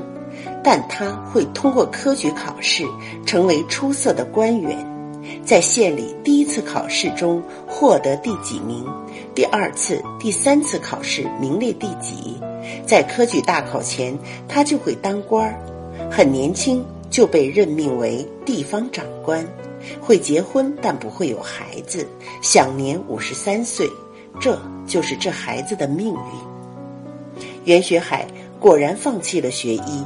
走上了当官的道路。不可思议的是，在每次的科举考试中的名次，一如老人所言，包括后来当上地方长官，都和老人的预言一模一样。此后，袁了凡在南京的国子监游学时，去栖霞寺拜访了有名的云谷禅师，两人一起坐禅三日。你这么年轻，打坐时却毫无杂念，非常了不起。我从没见过坐禅功夫如此出色的年轻人。你到底曾在何处修行过呀？云谷禅师很是佩服。而袁了凡在回答时，却提到了小时候遇到胡须老人的事儿。我至今为止的人生，完全如老人所言，不差一分一毫。如今也没有小孩，大概五十三岁就会死去，一切都是命中注定，所以我已经没有任何烦恼。听毕了凡的话，云谷禅师一声喝破。本以为你是位开了悟的大男子，想不到你竟是一个大笨蛋。接着，禅师说道：“那老人虽然说出了你的命运，但命运是可以改变的。”禅师解释了做好事儿就会产生好的结果，做坏事儿就会产生坏的结果的因果报应的法则。思善行善吧。那样做，你的人生一定会时来运转。听了禅师一番话，袁了凡如梦初醒，原来是自己错了。今后一定要照禅师所言，思善行善。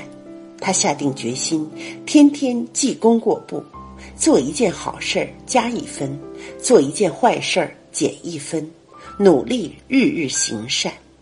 结果，袁了凡活到了七十三岁。同时，据说不可能有的儿子也出生了。袁了凡告诉他的孩子，在遇到云谷禅师之前，我的人生顺着命运前进。但是从那以后，我改变了想法，尽力做好事儿。结果，不可能出生的你出生了。本来五十三岁就该死去，现在过了七十还如此健康，儿子啊，原来人生是可以改变的，只要不断做好事儿就行了。人的命运是既定的，它不因我们的愿望而改变，但另一方面，与命运并行流动的因果报应的法则却不然。运用这个法则。甚至可以改变既定的命运，这可以称之为立命。如果是这样，我们就能改变命运。我想，我们应该更有效的使用因果报应法则。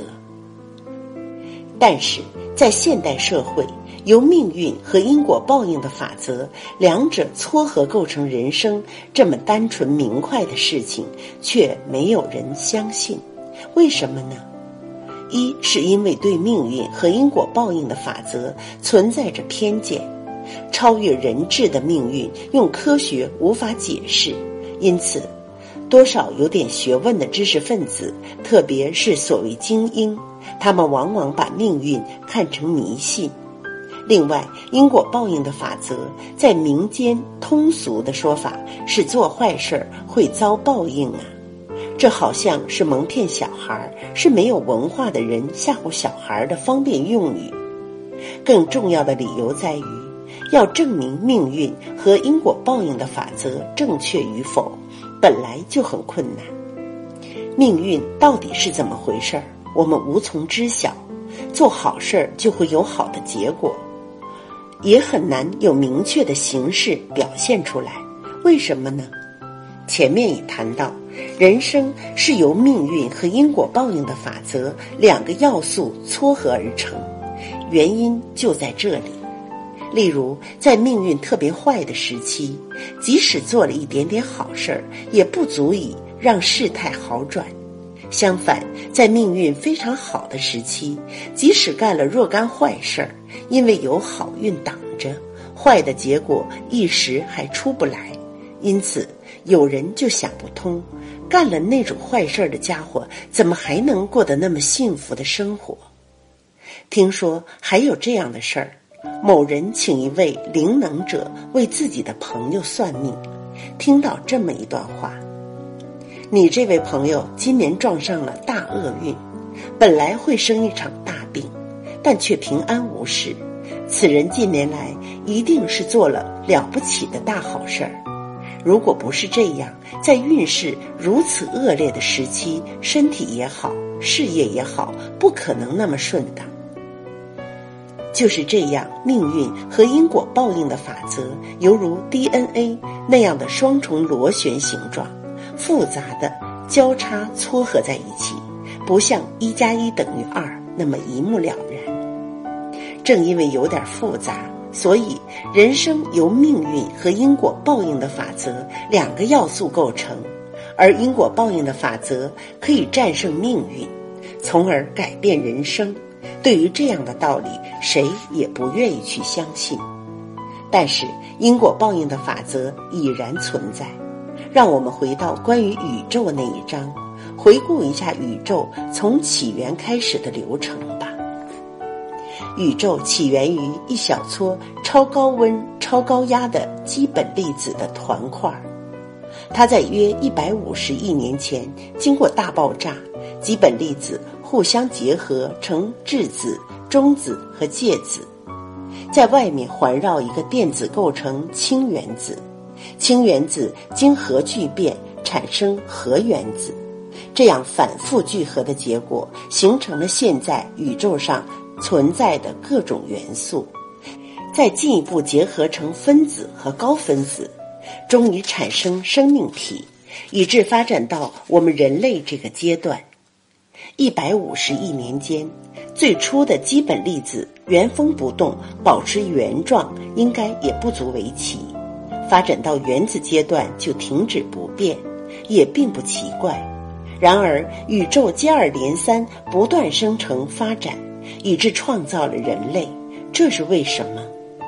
因为宇宙中有推动森罗万象一切事物生成发展，促使它们成长的意识在发挥作用的缘故。当我们具备善的意识时，正好与宇宙中充满的所有一切生命啊，祈愿你们好自为之。这一善的意识，不妨称之为造物主的意识。不谋而合，这种美好的个人意识与宇宙的意识波长吻合，此时一切都会顺畅，事业成功，不断发展。相反，如果逆宇宙意识而动，结果必然失败。如果这么思考的话，没落和衰亡的原因也可以得到解释，比如企业为什么破产？就是因为在企业顺利发展时没做过什么好事儿，没做过为社会、为世人奉献的事儿，企业发展以后不再认真努力了，等等。就是说，没落和衰亡是违反了宇宙的意识而得到的报应，如此而已。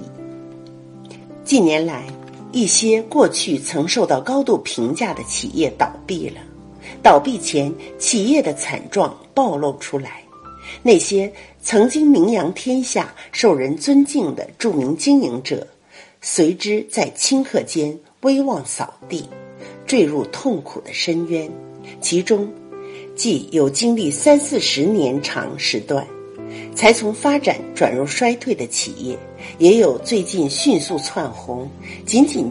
经过几年高速成长，又瞬间坠落的风险型企业，无论哪种企业，都是在功成名就之后，就那么轻易的分崩离析了。凡是经营者都祈愿，无论如何都要避免企业破产的事态发生。然而，为什么事与愿违？为什么成功不能持续呢？固然有命运的因素在起作用。但我认为，主要还是因果报应的法则产生的结果。据说，在二十世纪初的伦敦，常有一些知识精英们聚会，与已经死去的人进行灵魂交流，称为交灵会。在某个市镇，由医生主持的交灵会上，经常有自称为希尔佛帕奇的印第安灵魂出现。谈论各种各样的事情，他的话还被汇编成书。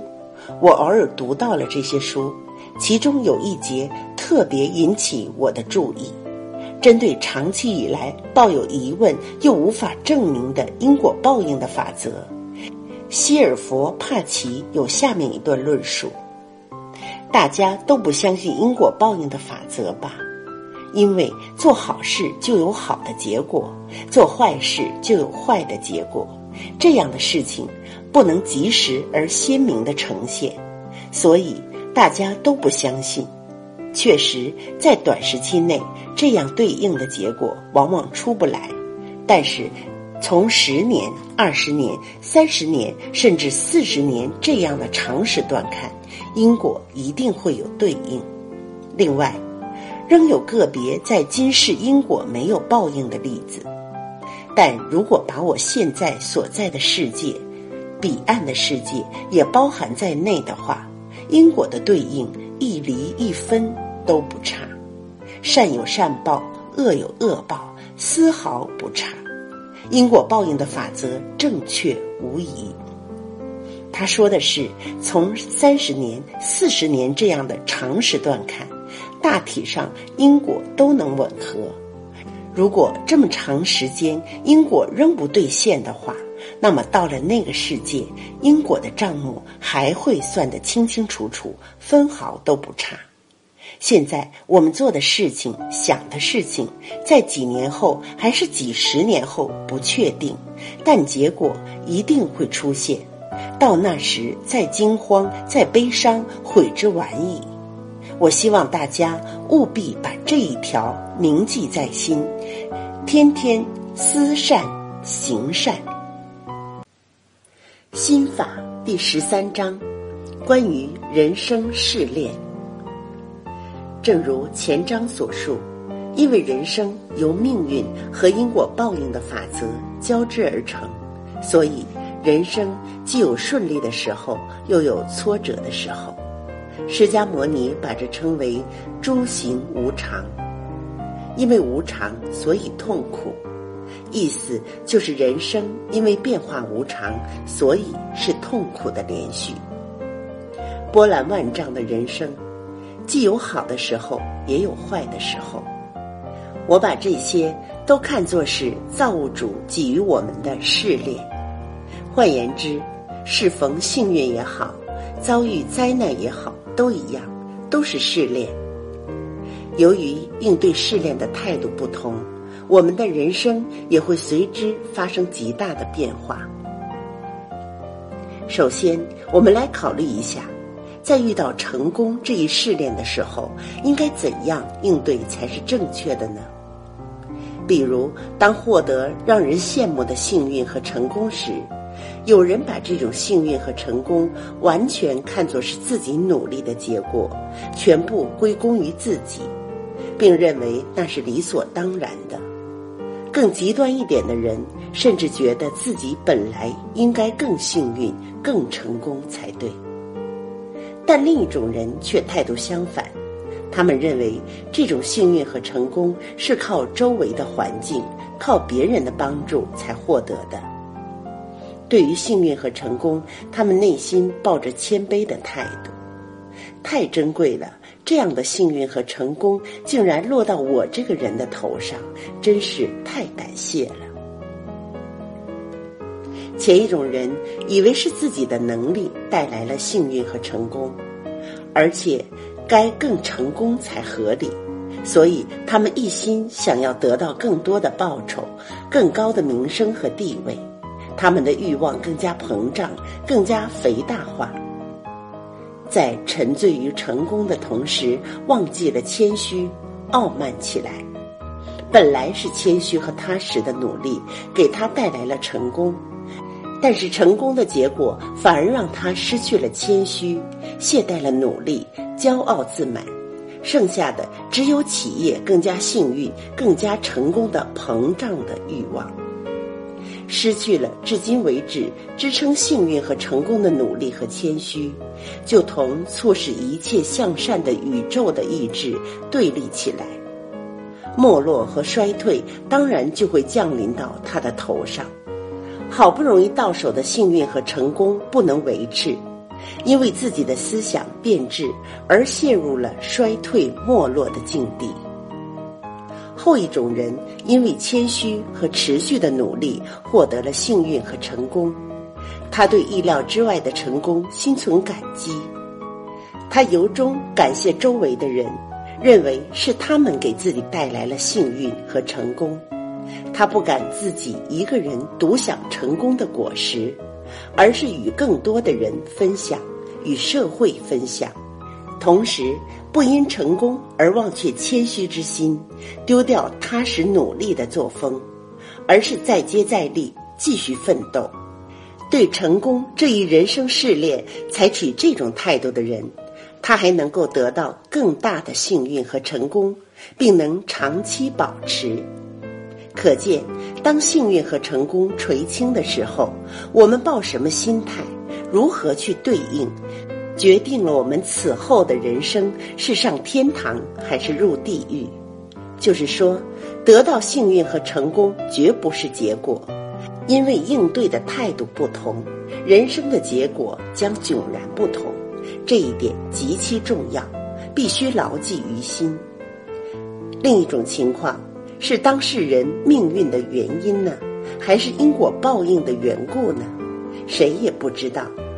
但有一种人在遭遇灾难、苦难、困难这类试炼的时候，经不起打击，或者愤世嫉俗，或者哀叹悲伤，或者发牢骚鸣不平，带着对社会的憎恨过日子。这种态度使他的人生更加暗淡无光。仅有一次的珍贵的人生过得如此索然无味，实在是太可惜了。另一种人与此相反，他们在遭遇灾难、苦难、困难这类试炼的时候，不仅能够承受，而且为了克服这类试炼全力奋战。他们相信眼前的困难是暂时的，到时候一个光明的未来一定会到来。他们乐观开朗，不懈努力，绝不怨天尤人，绝不牢骚满腹。他们从正面。坦然接受降临的苦难，甚至把苦难看作锻炼自己意志的机会，因而心存感激。他们积极开朗、踏实努力、勇往直前，结果这样的人就能获得卓越的成功，迎来光明的未来。由命运和因果报应的法则交织而成的人生，真是所谓诸行无常、波澜万丈的人生。一帆风顺、平安无事的人生并不存在。在这样的人生中，无论遭遇到苦难的试炼，还是幸运的试炼。能不能始终保持谦虚的态度？能不能始终用积极向上的精神去面对、去处理？这就决定了人们是度过天堂般的人生，还是地狱般的人生。这种教训古已有之，在中国的古籍《尚书》中就有“满招损，谦受益”的警句。这句话不仅适用于个人。从国家层面上也完全正确。一个国家的政府和人民如果忘记了谦虚，危机也就开始了。翻开日本的历史，这个事实洞若观火。明治维新以后，为了追赶欧美等先进国家，在富国强民、殖产兴业的口号之下，日本人拼命努力。大约在四十年后，在日俄战争中就打败了强国俄国，全世界为之喝彩。日本人因此尾巴翘到天上，陶醉于幸运和成功之中。明明是为谦受益，日本却失去了谦虚，大举扩军备战。大约又过了四十年，日本在第二次世界大战中惨遭失败。一片废墟中的日本开始反省，团结一致，共同奋斗。不久，一跃而成为世界第二经济强国，成就了所谓奇迹般的经济复兴。在这个历史关口，我们日本人本来应该更加谦虚，应该把战后经济建设的成功视作试炼，在谦虚的基础之上，更好的治理国家，决定经济政策。但是，日本又骄傲自大起来，许多大公司、大银行的经营者们，又忘记了战后几十年的谦虚、奋斗和互相帮助、互相扶持的精神。何止经营者，连一般大众也忘记了额头的汗水，开始追求投机获利。到二十世纪八十年代，大家都狂热的投资房地产和股市。促成了所谓的泡沫经济的产生。傲慢的结局是泡沫经济的破裂，许多经营者乃至个人都尝到了涂炭之苦。买到手的，据说可以升值四倍、五倍的土地房产的价格一落千丈，狂跌至五分之一乃至十分之一，因此负债累累。连本来根本不可能垮台的银行也破产了，一片悲惨境况。其实，或许有很多日本人在二十世纪八十年代以前就已经忘却了谦虚。安冈正笃先生早在一九六九年，在前面提及的《命运和立命》一书中，就以。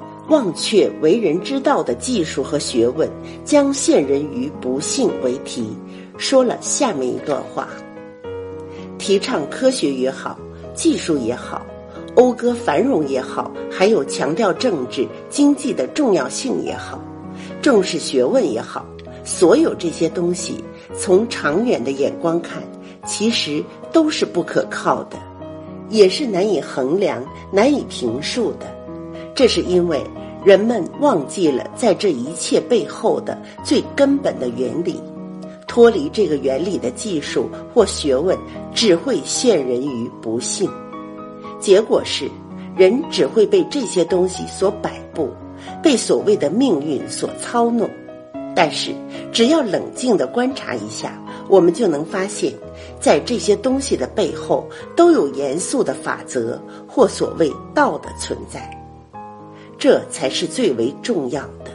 离开了这个法则，不循道而行，我们就无法找到任何可以依托的东西，必将无所适从。进入二十世纪后半叶，这种感受越来越深切。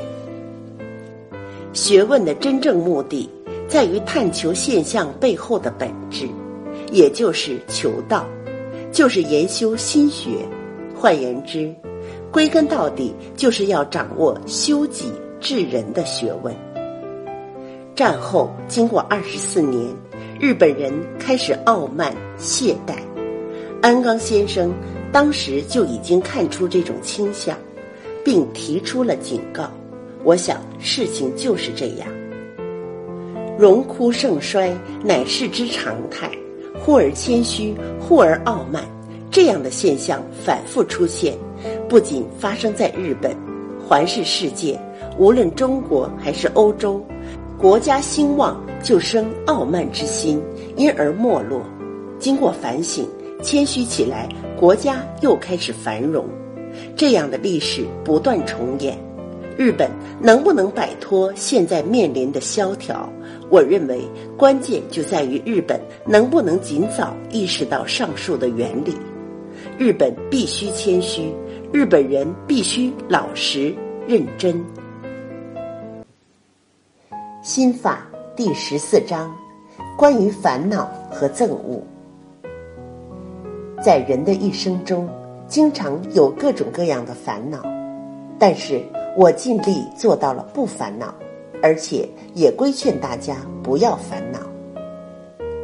我们需要深思熟虑，但却不需要烦恼。烦恼只会消耗精力和时间，有时甚至会损害健康，没有任何好处。为了解决工作中发生的问题，我会思考、思考、再思考，一直到想通为止。但对策一旦确定，思考就告一段落。为了不生烦恼，我会透彻的思考，思考到不需要再思考为止，之后就会采取尽人事待天命的态度，这是很必要的。然而，思考透彻，并不等于一切问题都能解决，大概就是这个原因吧。有的人就会习惯性的烦恼不已，这样的人重要的是自己下决心不要烦恼。据我所知，这也烦恼那也烦恼的人，多数是在确定对策之后，到结果出来之前，总是烦恼不堪。能顺利吗？会失败吗？但是事情不会因为你烦恼，结果就会变好。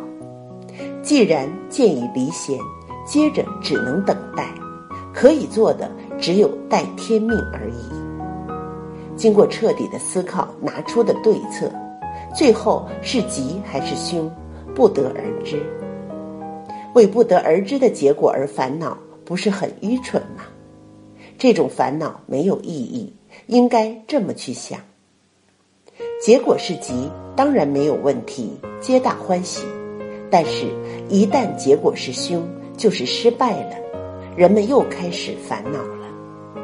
例如，遭受的损失超过预想，但是既然木已成舟，就没办法了。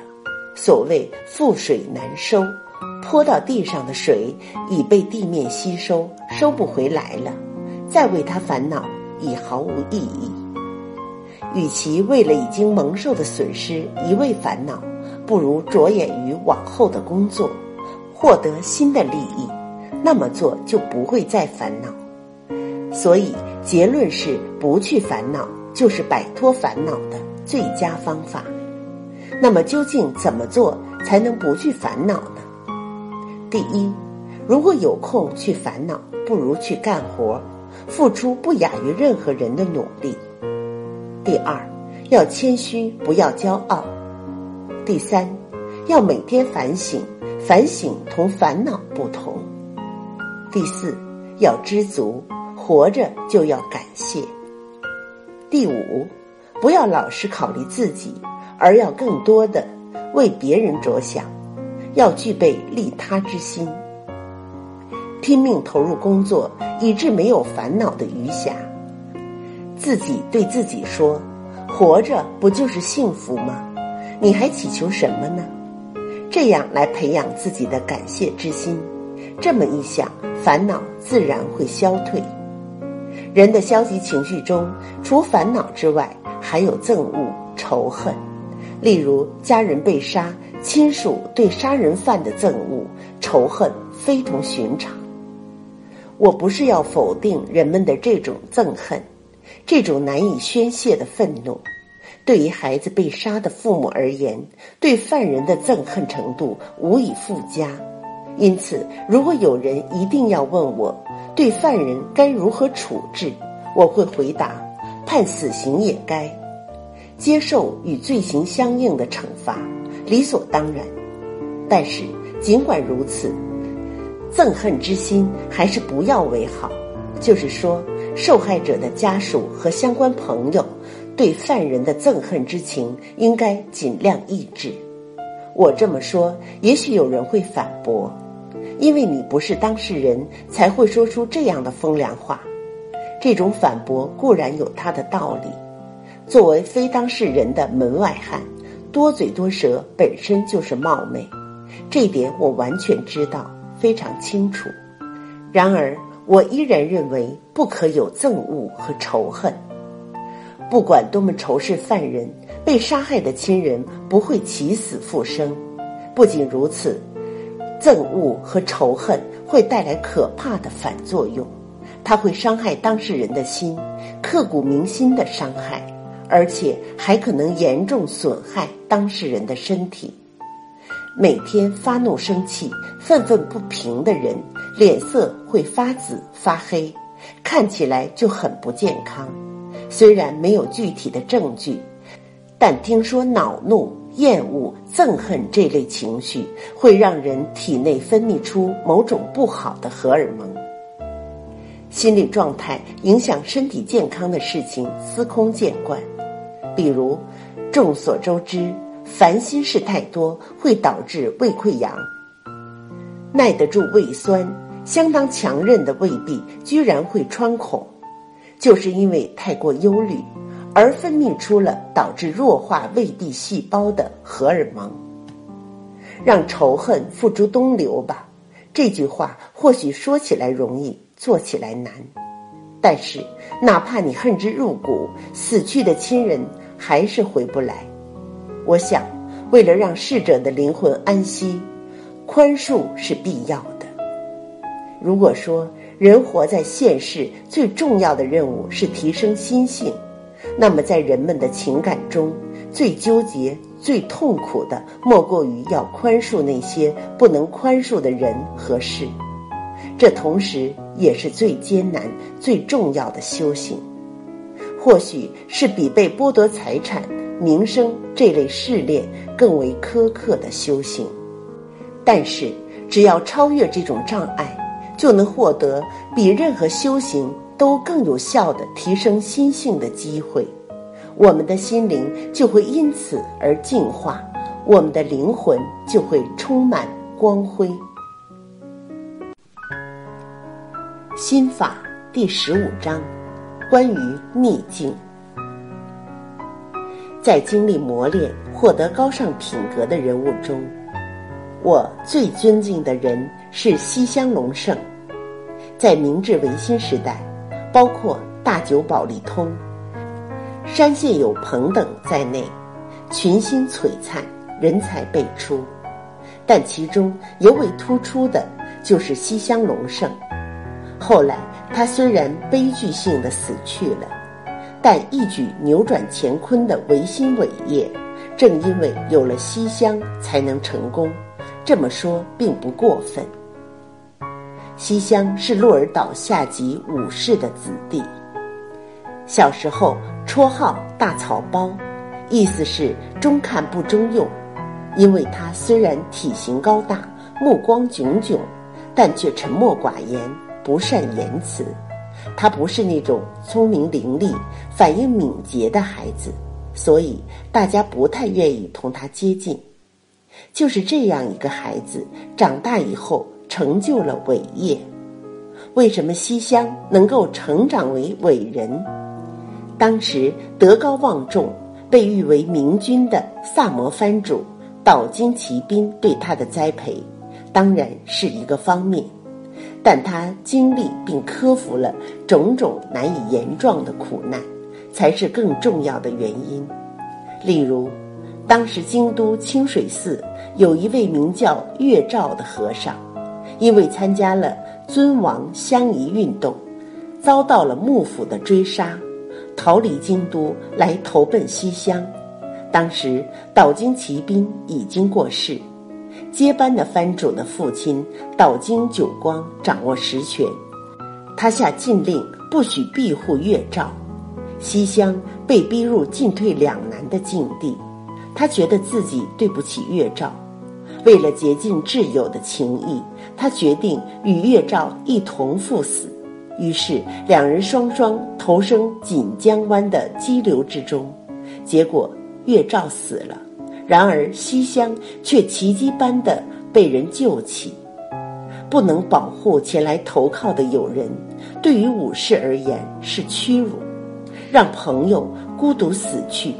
可自己却苟活于世，西乡也遭到周围人的非难，但西乡忍受了一切，顽强的生存下来。西乡的秉性与岛津久光不合，又触犯了久光的尊严，因此被流放到岩美大岛和冲水良部岛，特别是在冲水良部岛。西乡被关进了一小间近乎露天的、只能席地而坐的牢房。所谓牢房，只有屋顶和四根柱子，却没有墙壁。海风肆意侵袭，大雨时泼洒进来。被禁闭于这种牢笼中的西乡，却盘腿坐禅，沉入冥想。不久，原本体格魁梧的西乡日渐消瘦。看守他的狱官于心不忍，就在自己的家里设了个牢房，让西厢移居过来。据传，西厢因此才活了下来。饱尝如此心酸的西厢，其人格气量越发宏大。正因为如此，而后才能与幕府重臣盛海舟谈判成功，兵不血刃进入江户都城，平定了幕府。我认为，正是艰难困苦塑造了西厢的人格和伟业。包括年轻时候在内，从未经历过苦难的人，不可能成就伟大的事业。可以说，古往今来没有这样的人物，只有克服了难以想象的艰难困苦的人，才能创造伟业。相反，出身名门，从小到大不知劳苦为何物，却能成就伟业，这样的人几乎没有。因为他们一旦遭遇苦难，很快就会灰心丧气，自暴自弃。松下幸之助先生也一样，孩童时代就吃尽了苦头，因为家道中落，刚刚九岁，读小学四年级的他，就被迫辍学去当学徒。但身处这样的逆境，松下先生不气馁，不哀叹，他积极向上。勤奋工作，博得了雇主的喜欢。这是个不畏逆境、诚恳、开朗、坚韧不拔、拼命工作的少年。就是这个少年，日后创建了驰名全球的大松下。与松下相同境遇的孩子不在少数，孩子也会露出记恨之心，他们会抱怨，会嫉妒。为什么有钱人家的孩子能上学，能吃好吃的食物，能穿好看的衣服？为什么自家却如此贫穷？但是少年时代就怀有记恨之心，只会抱怨、只会嫉妒的人之中，能成大事者皆无。虽然遭遇难以忍受的苦难，但是坦然接受命运的安排。正视现实的处境，虽然做不到对苦难也表示感谢那么高的境界，但至少不要自卑，不要记恨，在逆境中要忍耐，要坚强，积极开朗，努力奋斗。松下幸之助就是这么做的，所以他成就了大业。古语说：“艰难困苦，玉汝于成。”还有。千金难买少年苦的说法，虽说好逸恶劳是人之常情，但从长远目光来看，比起从小就养尊处优的人，年轻时经历困苦的人，在而后的人生中，往往更能取得硕果。从这个观点出发思考的话，现代的日本情况恰恰相反。刚才已讲过。多数家长都不愿让孩子吃苦，都在想方设法让孩子过得轻松，道路顺畅。但正是这种环境，才催生了十七岁少年凶犯的出现。在我们之前的那个时代，因为家庭贫困，为了帮助父母维持生计，很多人从小时候开始就拼命工作。到了我这一代。也有很多朋友从小就帮助父母做事，在贫困家庭中成长的孩子，几乎不曾有过穷凶极恶的犯罪事件。不让孩子吃苦，对孩子的成长其实并没有好处。正好相反，为了磨练人格，吃苦受累必不可缺。西乡在冲水梁不倒的牢狱中。苦读阳明学，修炼了自己的人格。关于修炼人格、提升心性，安刚正笃先生论述过“知识、见识、胆识”的说法，意思是必须分三个阶段来提升心性。知识只要翻阅百科全书及各种词典就能获得，没有必要死记硬背，哪怕填鸭式的灌输了许多知识。充其量也不过是知识渊博而已。重要的是把知识提升到信念，也就是见识的高度，才能一通百通。然而，即使再有见识，若不能实行，仍将一事无成。所以，必须再将见识变成胆识。这里所讲的胆识，就是伴有胆力的见识。这需要通过克服艰难困苦才能培养出来。所谓胆子大、有胆量，就是指这种精神状态。西乡在冲水梁步岛上培养出了这种胆力，但是即使达不到胆力那种高度，只要具备勇气，就能产生实行力。那么，什么时候才能心生勇气呢？实际上，在具备大义名分时，最能鼓舞勇气。此刻，我若不挺身而出，这个世道将会怎样？我若不拼命奋斗，这个公司将会如何？必须具有这样的使命感。大义和志向不同，志向包含了自己个人的目标。所谓大义，不是利己的，大义必须置于远离自身利益的地方。在大义中，有为社会、为世人的高层次的大义，也有为公司、为家族的贴近身边的大义。有各种各样的情况，大义能激励自己，鼓起真正的勇气。这种勇气会逼迫自己采取行动。具备了胆力的人，不需要刻意自我鼓励，但像我们这样的凡人，在向某个重大目标发动挑战的时候，就有必要树立起大义名分，借以鼓舞自己的斗志。缺乏执行力的人，工作做不好的人，都有这样的通病。公司要我做这件事儿，做了对我自己有什么好处呢？要是成功的话，或许会加工资，或许会升职当上部长；但一旦失败了，那就惨了。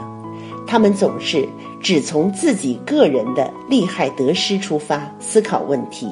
因此，在他们身上就涌现不出付诸实行的勇气。像这样不能明确做事的大意，因而做不好工作的人不在少数。摆脱利己心的束缚，明确树立做事的大意，这点很重要。心法第十六章关于情和理。如果问我，在我心目中最受尊敬的人、最理想的人物是谁？那么，在我脑海里首先浮现出来的就是前面谈到的西乡隆盛。明治新政府诞生以后，西乡移居东京，虽然领着高薪，却住在市井普通的居民中，家中只雇了一名女仆。西乡。穿着粗劣的棉布衣服，是不讲究身份派头呢，还是不追求个人欲望呢？兼而有之吧。我认为他是一个无私的人。幕府可恶，封建割据制度太落后，一批年轻的志士们拼着性命创建了明治新政府，但是在新政府身居要职的达官贵人们。却纷纷建豪宅、穿华服，身边有多名美妾侍奉，极尽荣华富贵。这些有功之臣们堕落了，眼见一起革命的同志腐化堕落，身处新政府核心位置的西乡痛心疾首。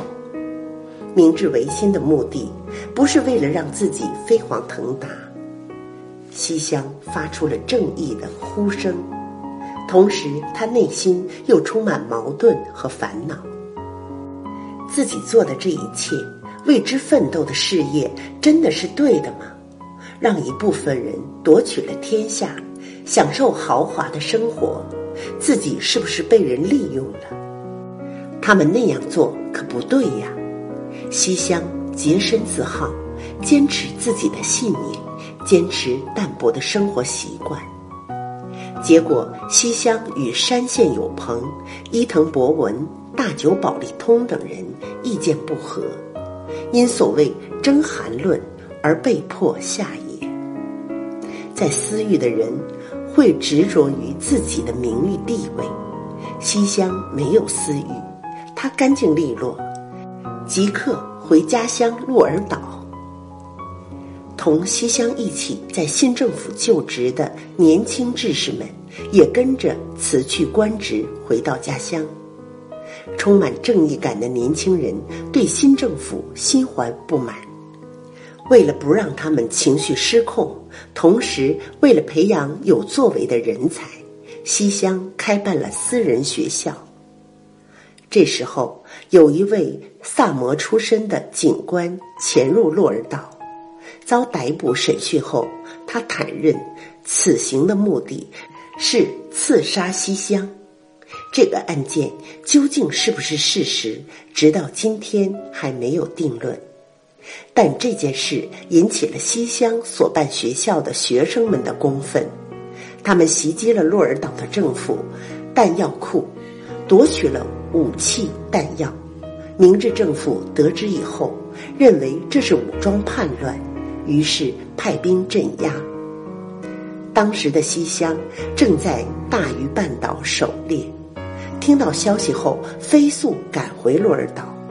本来他企图阻止年轻人鲁莽起事，但行动上却颇为消极，其理由至今还是一个谜。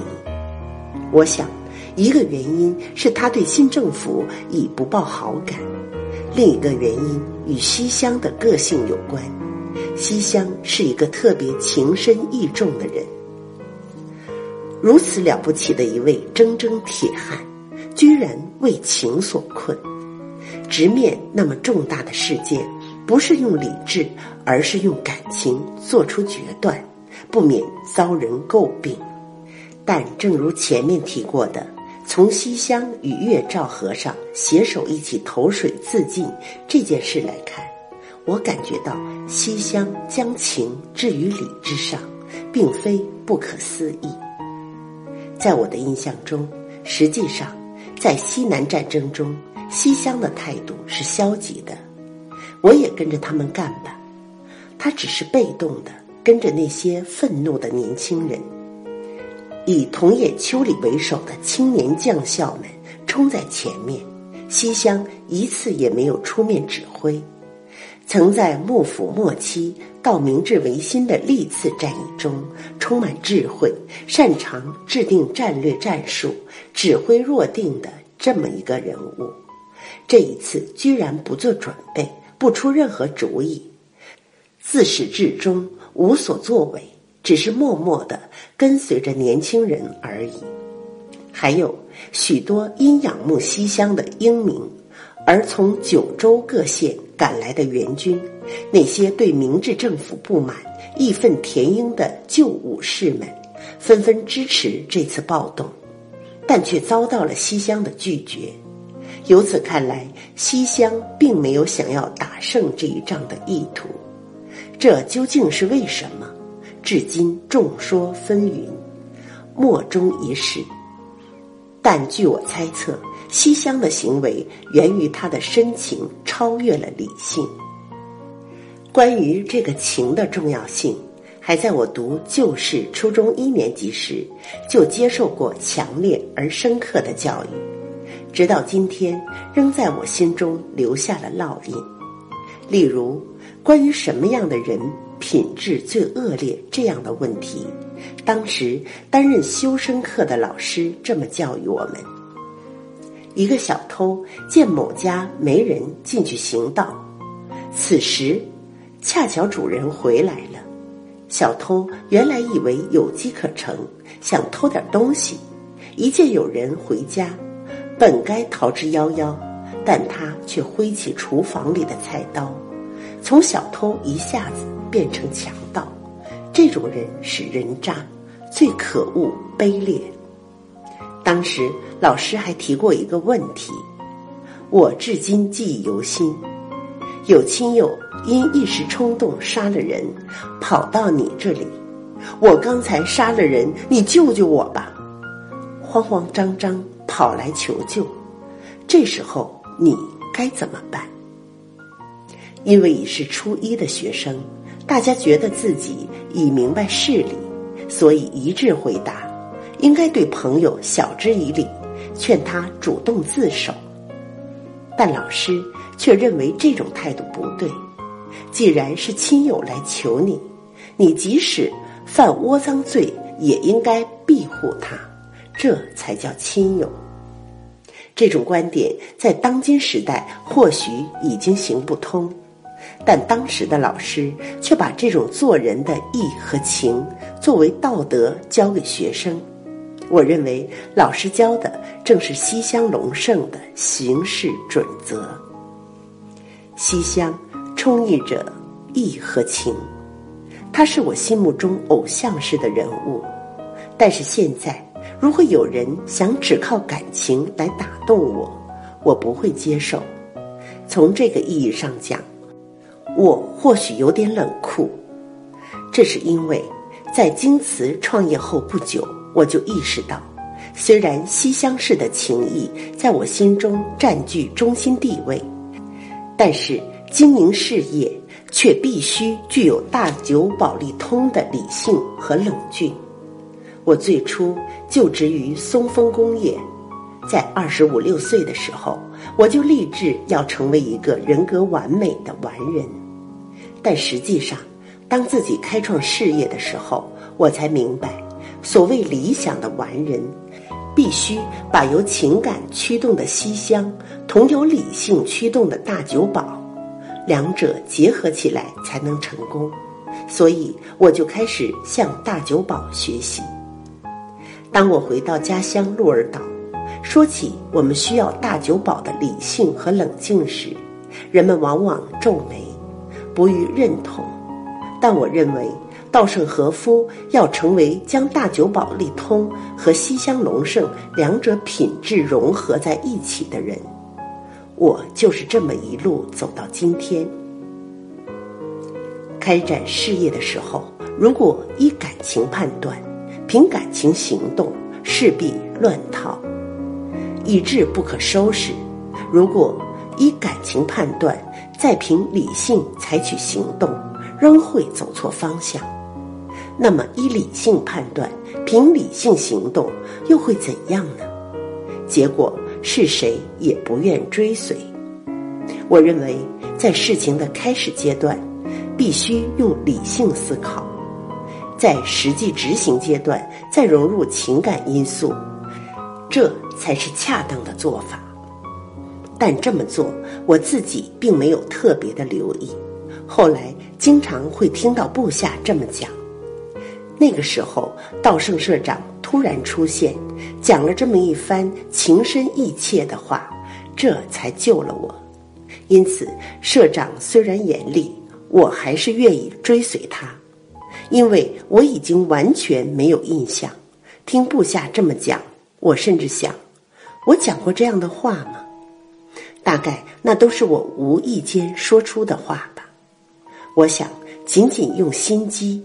仅仅用理性，哪怕是夸奖对方，他也不会感动；而不经意间为对方着想，说了动感情的话，对方才会欣然接受，心悦诚服。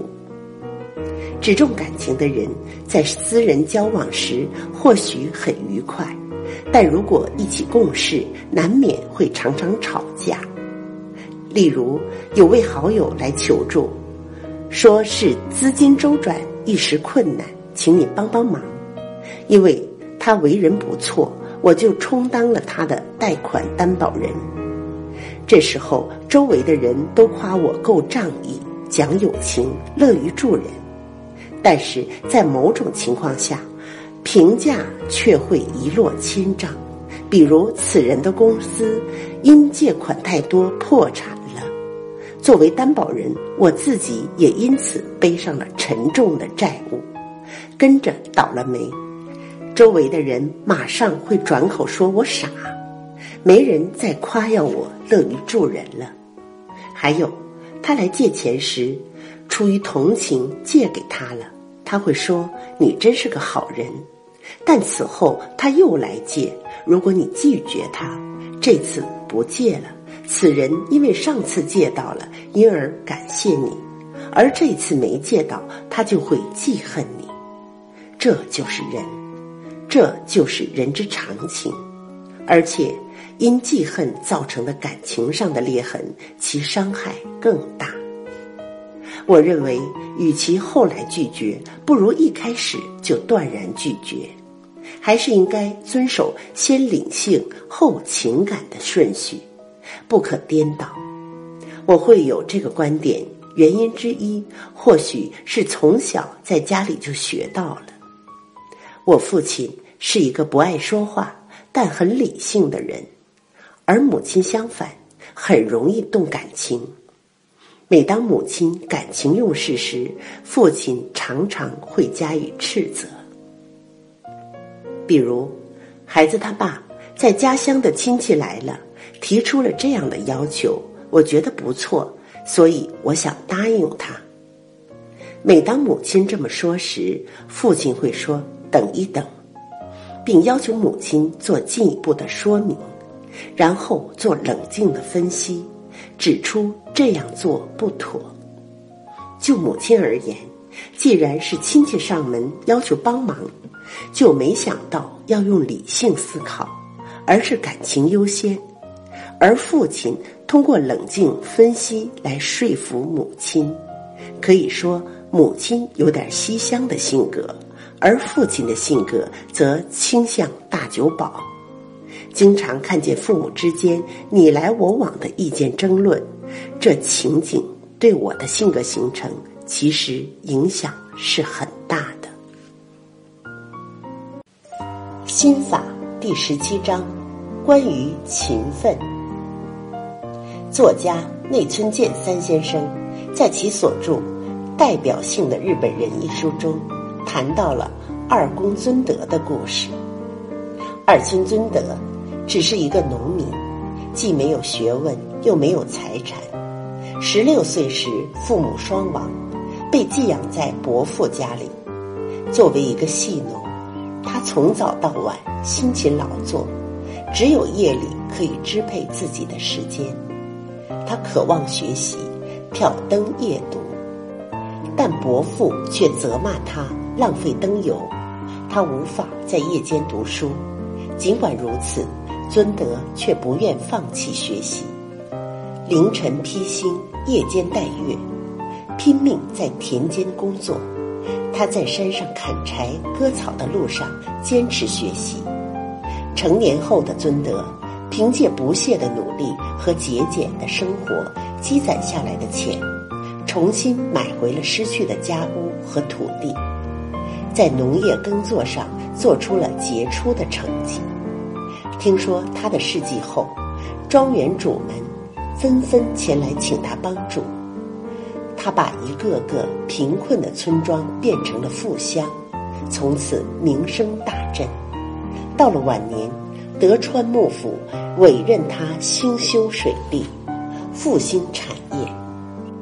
当他和大明诸侯那些高官们一起在宫殿上朝时，他的举手投足、言行举止竟是那么高雅，以致让人误认为他出身于豪门贵族。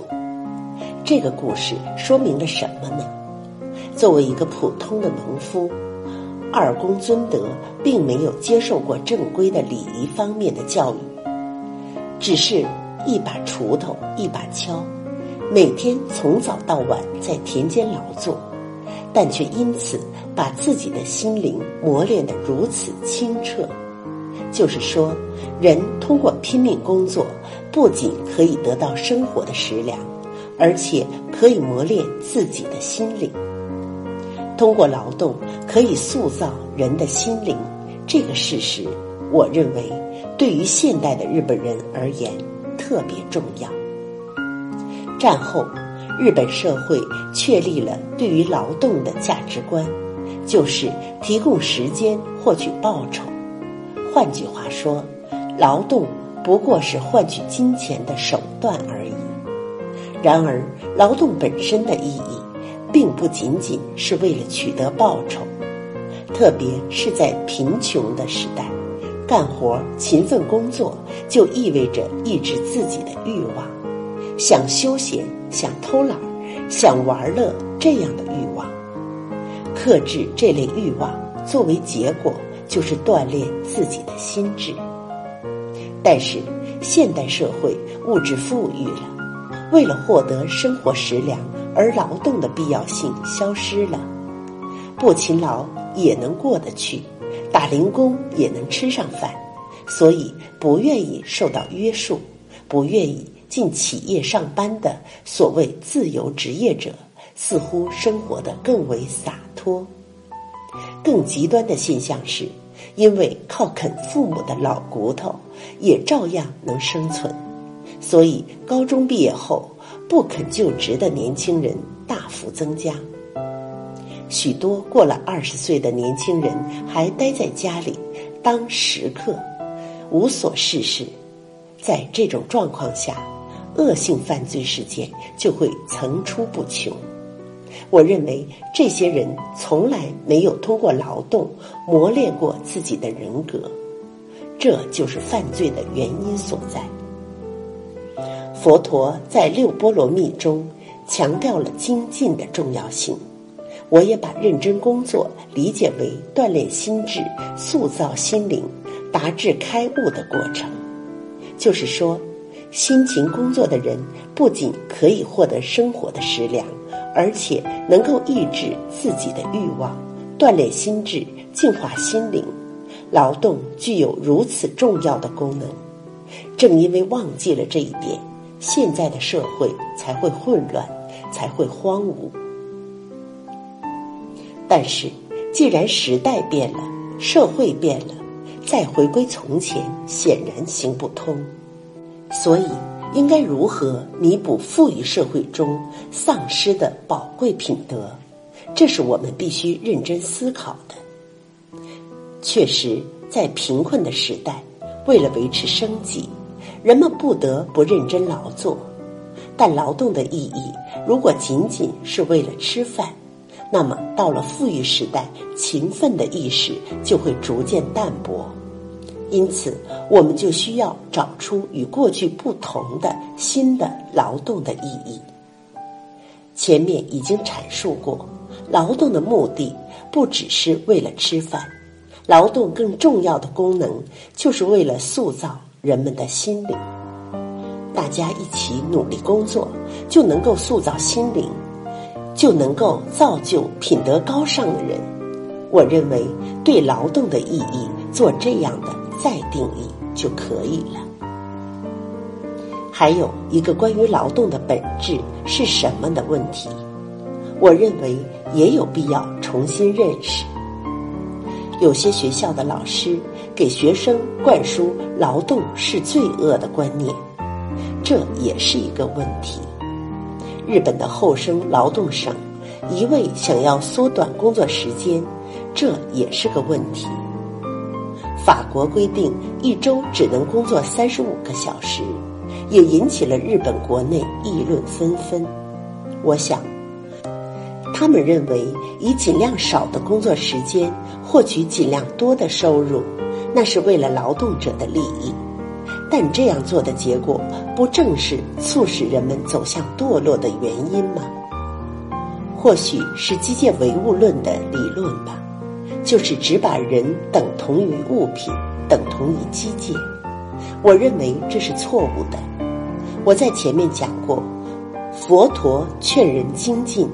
由此净化自己的心灵，我认为就应该从这一点中找出工作的本质，找出工作的真正的意义。这对人来说才是合乎自然的。基于这样的观点，大家都努力工作，把工作的一部分成果用来支援贫困的国家，这就是释迦牟尼倡导的布施。即使不能直接寄送，也可以通过政府开发援助机构进行援助，从物质上帮助世界上众多贫困的人们。这就是救人助人，是最高贵的慈悲的行为，而且因为致力于布施，更是两倍、三倍的提升了劳动的价值。同时，像这样用自己勤奋工作得来的成果来帮助别的国家，我认为对于自己的国家的安全保障而言，这比获得任何军备、缔结任何条约都更为有效。为什么？因为谁也不会去侵略一个充满关爱的、慈悲为怀的民族。如果做到这一点，这个民族的人民无论走到哪个国家，都会受到尊敬。我衷心希望日本能成为这样的国家，这也是二十一世纪日本应该追求的目标。心法第十八章，关于宗教和死亡。你信仰哪种宗教？当问及这个问题时。许多日本人回答说：“我没有宗教信仰。”这给人一种错觉，好像不信宗教很了不起似的。我想，日本的知识阶层以无宗教信仰为荣，那是明治维新之后的现象。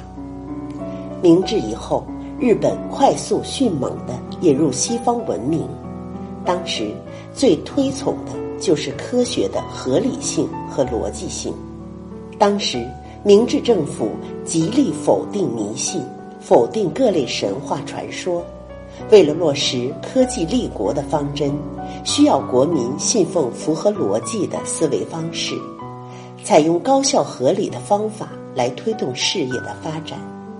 因此，在明治以后的学校教育中，一切所谓非科学的东西都遭到了强烈的否定。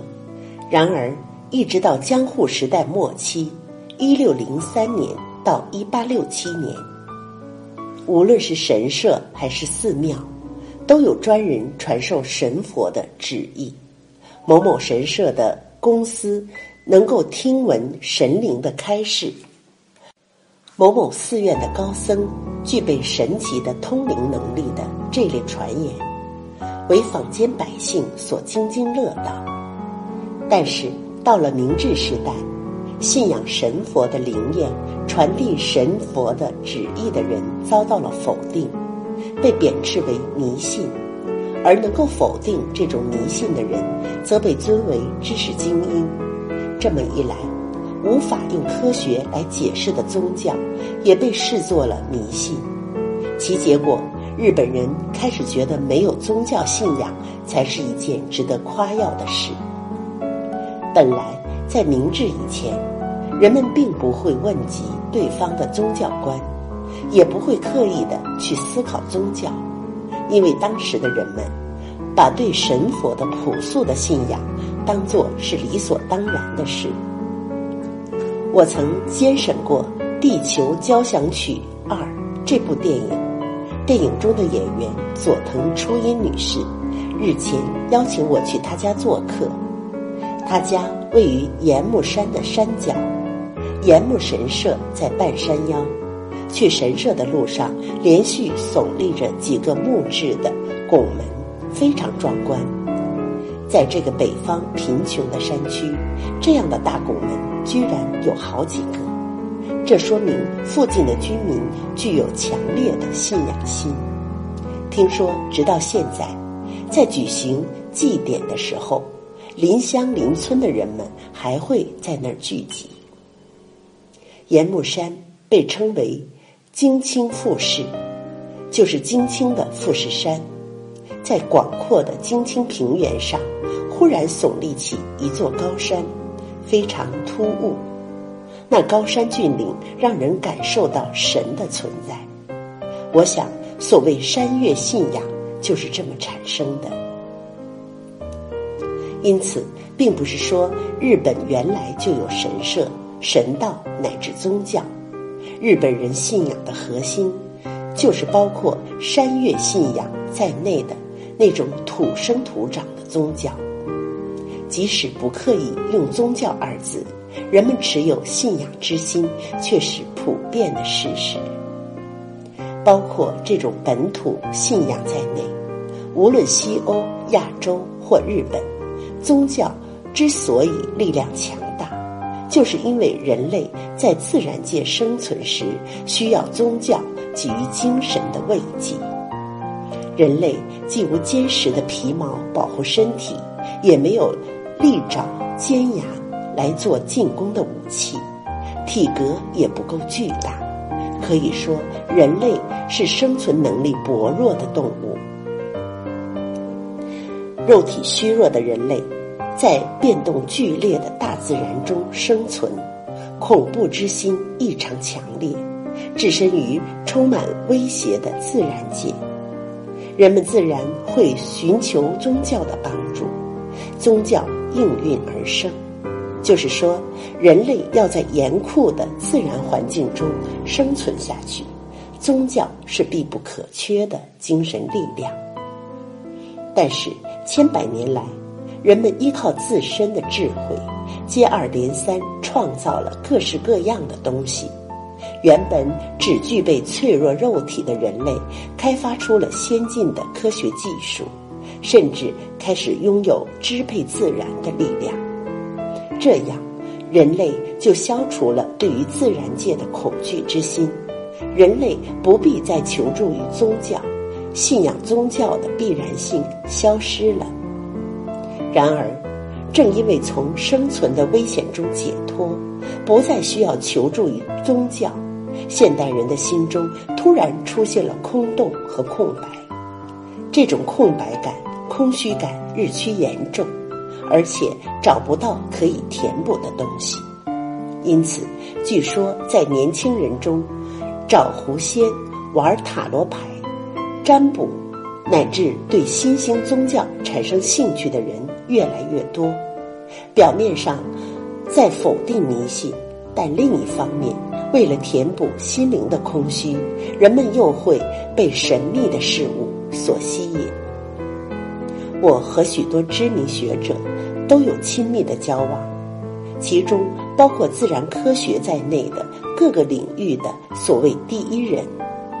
他们在五十岁前后往往强调自己不相信宗教，但过了七十岁，他们的态度就变得随和，不再竭力否定神灵的存在。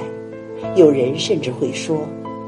我觉得我已经能够理解宗教所描述的精神世界了，但是最后未能皈依宗教的人还是占了多数。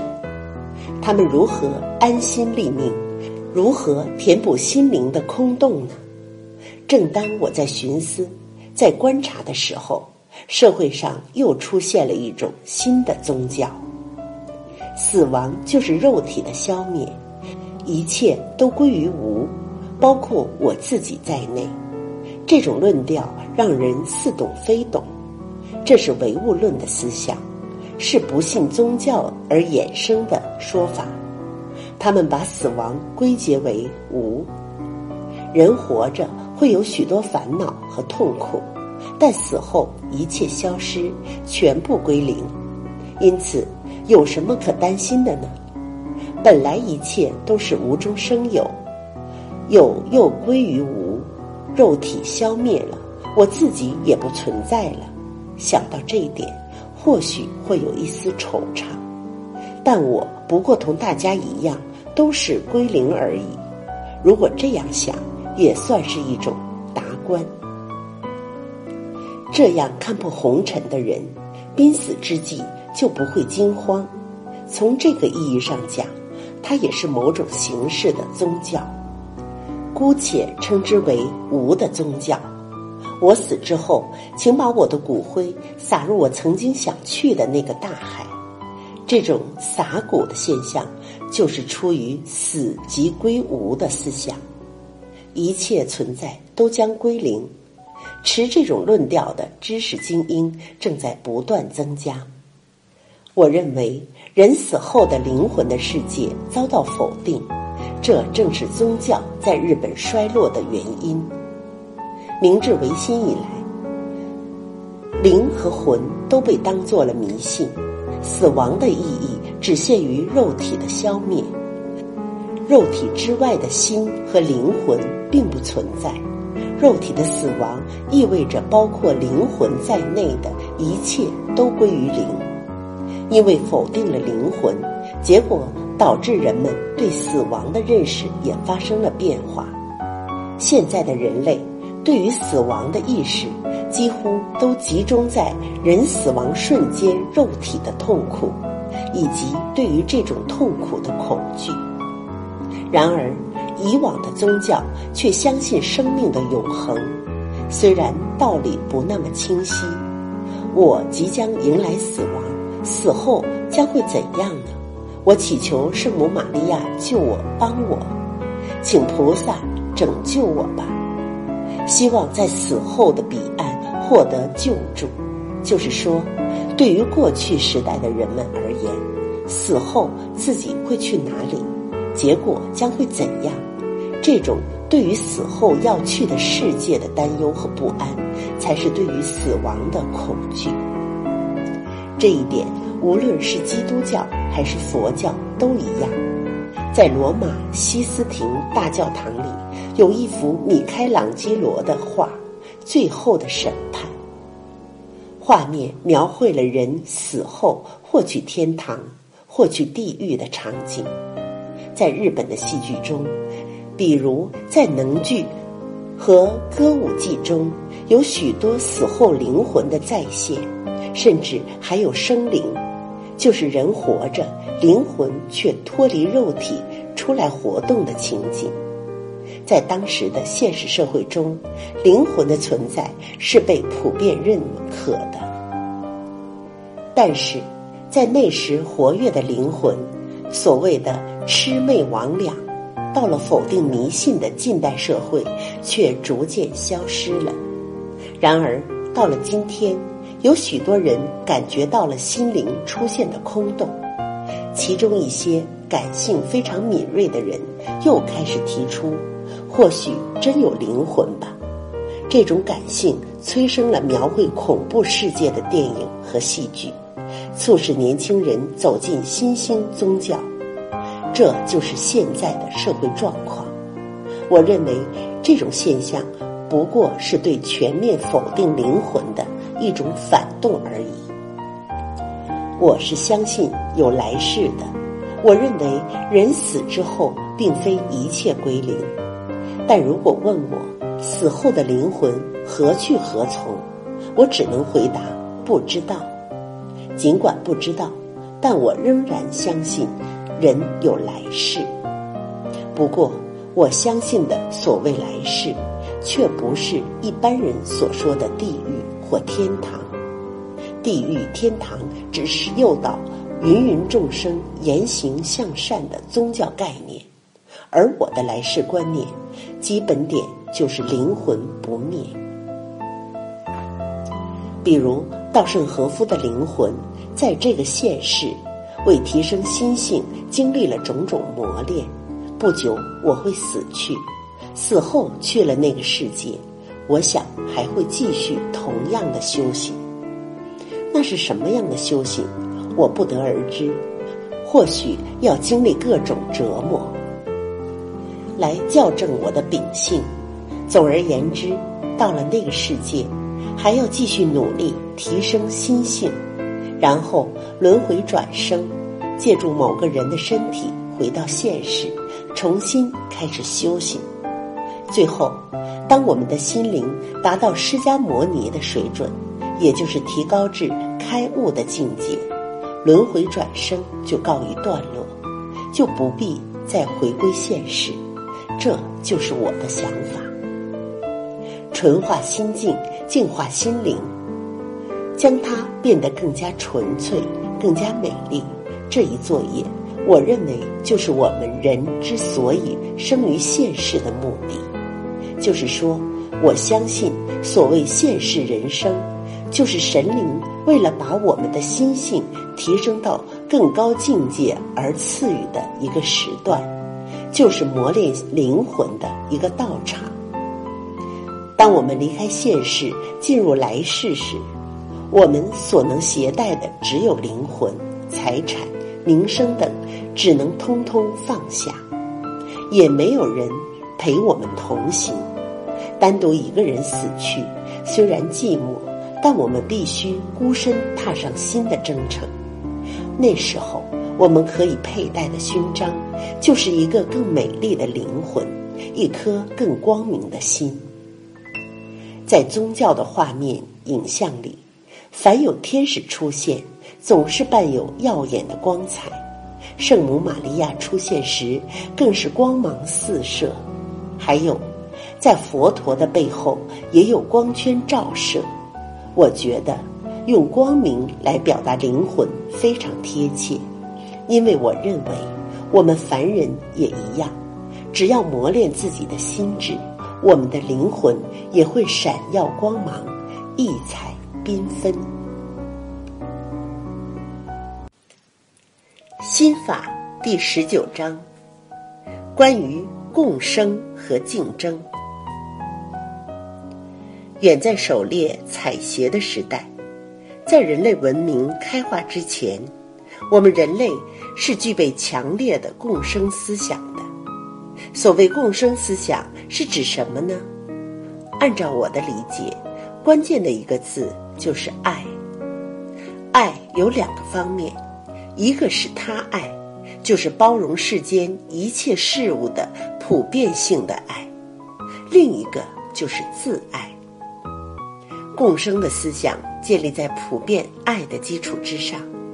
这种思想之所以产生于原始的人类社会。那是自然界教化的结果，就是说，如果只强调自身利益的自爱膨胀的话，就会加害于他者，结果是导致自己也灭亡。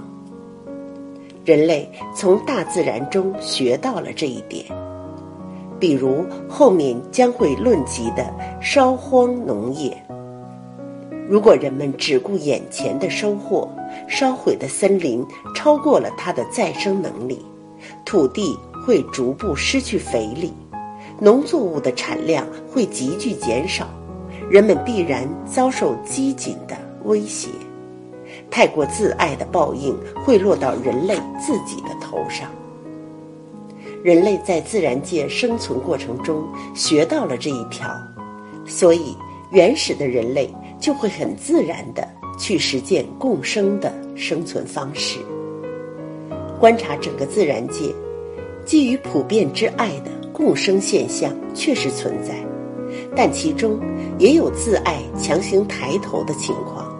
比如，由于环境的变化，蝗虫异常繁殖，蝗虫把周围的草木通通吃光。并以横扫一切之势飞渡几十公里乃至几百公里，凡过境之处寸草不留，结果他自己也无食可吃，全部死光了。像这样自爱的膨胀，甚至会导致它的种群灭绝。过度的自爱必将招致自身的灭亡。那么，竞争又是如何产生的呢？人们不禁会提出这样的问题：原本自然界中充满着普遍之爱，因此共生是大自然的基本形态。在这个共生的框架之内，各种各样的动植物在严酷的自然环境下努力求生存，基于自爱拼命生存下去。实际上，这种拼命求生的情形，结果。自然就产生了与周围动植物竞争的结果。各类动植物并不是自己主观上想要竞争才产生了竞争，在原本被普遍之爱包容的共生的自然环境中，每一种动物、植物不过是为了保护自己，基于自爱而拼命求生而已。但是，越是这样，作为结果。就与附近同样在追求生存的物种之间发生了竞争，继而出现了竞争落败者灭亡的现象。这并不是说某方有意识的去消灭另一方，而是某方为求自己的生存而拼命努力，其影响所及，使得生存努力不足的一方衰落下去。这就是所谓适者生存。为了表达自然界的残酷性，人们常常使用“弱肉强食”这个词汇。但我认为，在动物的世界里，从表面上看来，似乎存在这种事实。但不管怎么说，适者生存才是自然界最基本的法则，并不是谁有意识的去消灭谁，而是某一方因为不适应环境变化而自己没落、自我淘汰，这才是自然界的真实情景。确实，在动物世界里。有的动物为了满足自爱，为了让自己生存而猎杀别的动物，但是，即使在这种场合，动物也只进行自己生存所需要的最低限度的杀生。这是因为，如果自爱过度膨胀，杀生过多，自己也将无法生存。乍看之下，似乎是凄惨残酷的生存竞争。但因为只取自己生存所必须的最低限度的量，所以看到这种现象，我们就能明白，自然界确实是由共生主宰的。自爱是必要的，缺乏自爱就无法维持自己的生命。为了生存必须的自爱，乃是天经地义的事情。但是归根结底。这种自爱应该纳入共生的范围之内。这同前面所讲的自由具备两面性一样，人类手握自由，从某个角度看，自由非常珍贵；但从另一方面看，自由又是作恶的根源。善和恶也一样，它们并不是本来就有的，它们同根同源，都从爱开始。因为爱的用法不同，或生出善，或生出恶，从头到尾围着自爱打转，势必作恶。为他人着想的爱开始觉醒时，就能为善。善恶的界限就在爱自己的爱和爱他人的爱的中间。自然界充溢着普遍性的爱，作为整体而言。处于万物共生的状态，这是因为只求自己繁荣，必将使对方破灭，结果将来自己也必将疲弱。自然界明白这个法则，因此佛教所讲的知足的思想，乃是将共生付诸实践的关键性词汇。企业竞争也一样，也需要普遍性的爱。为了维持自己的企业，为了让企业繁荣壮大，首先必须有保护企业不受侵犯的自爱。但是，在它的根基里，不可缺少为普遍之爱所包容的共生的思想。如果在企业经营中只是一味考虑企业自身的利益，其结果就是客户因不能获利而离去，经营就会走进死胡同。最后，员工的生活、股东的利益都无法保障，企业自身也不能继续生存。片面的要让自己的企业变大变强，这种自爱过分强烈的话，企业将无法生存。为了不发生这种悲剧，企业经营必须让客人、员工、股东等企业周围的人都高兴。在自爱的同时，对他人之爱的他爱，无论如何都是必须的。如果某个行业或者某个企业自爱过分强烈、过分突出的话，就会破坏整个社会的协调和谐。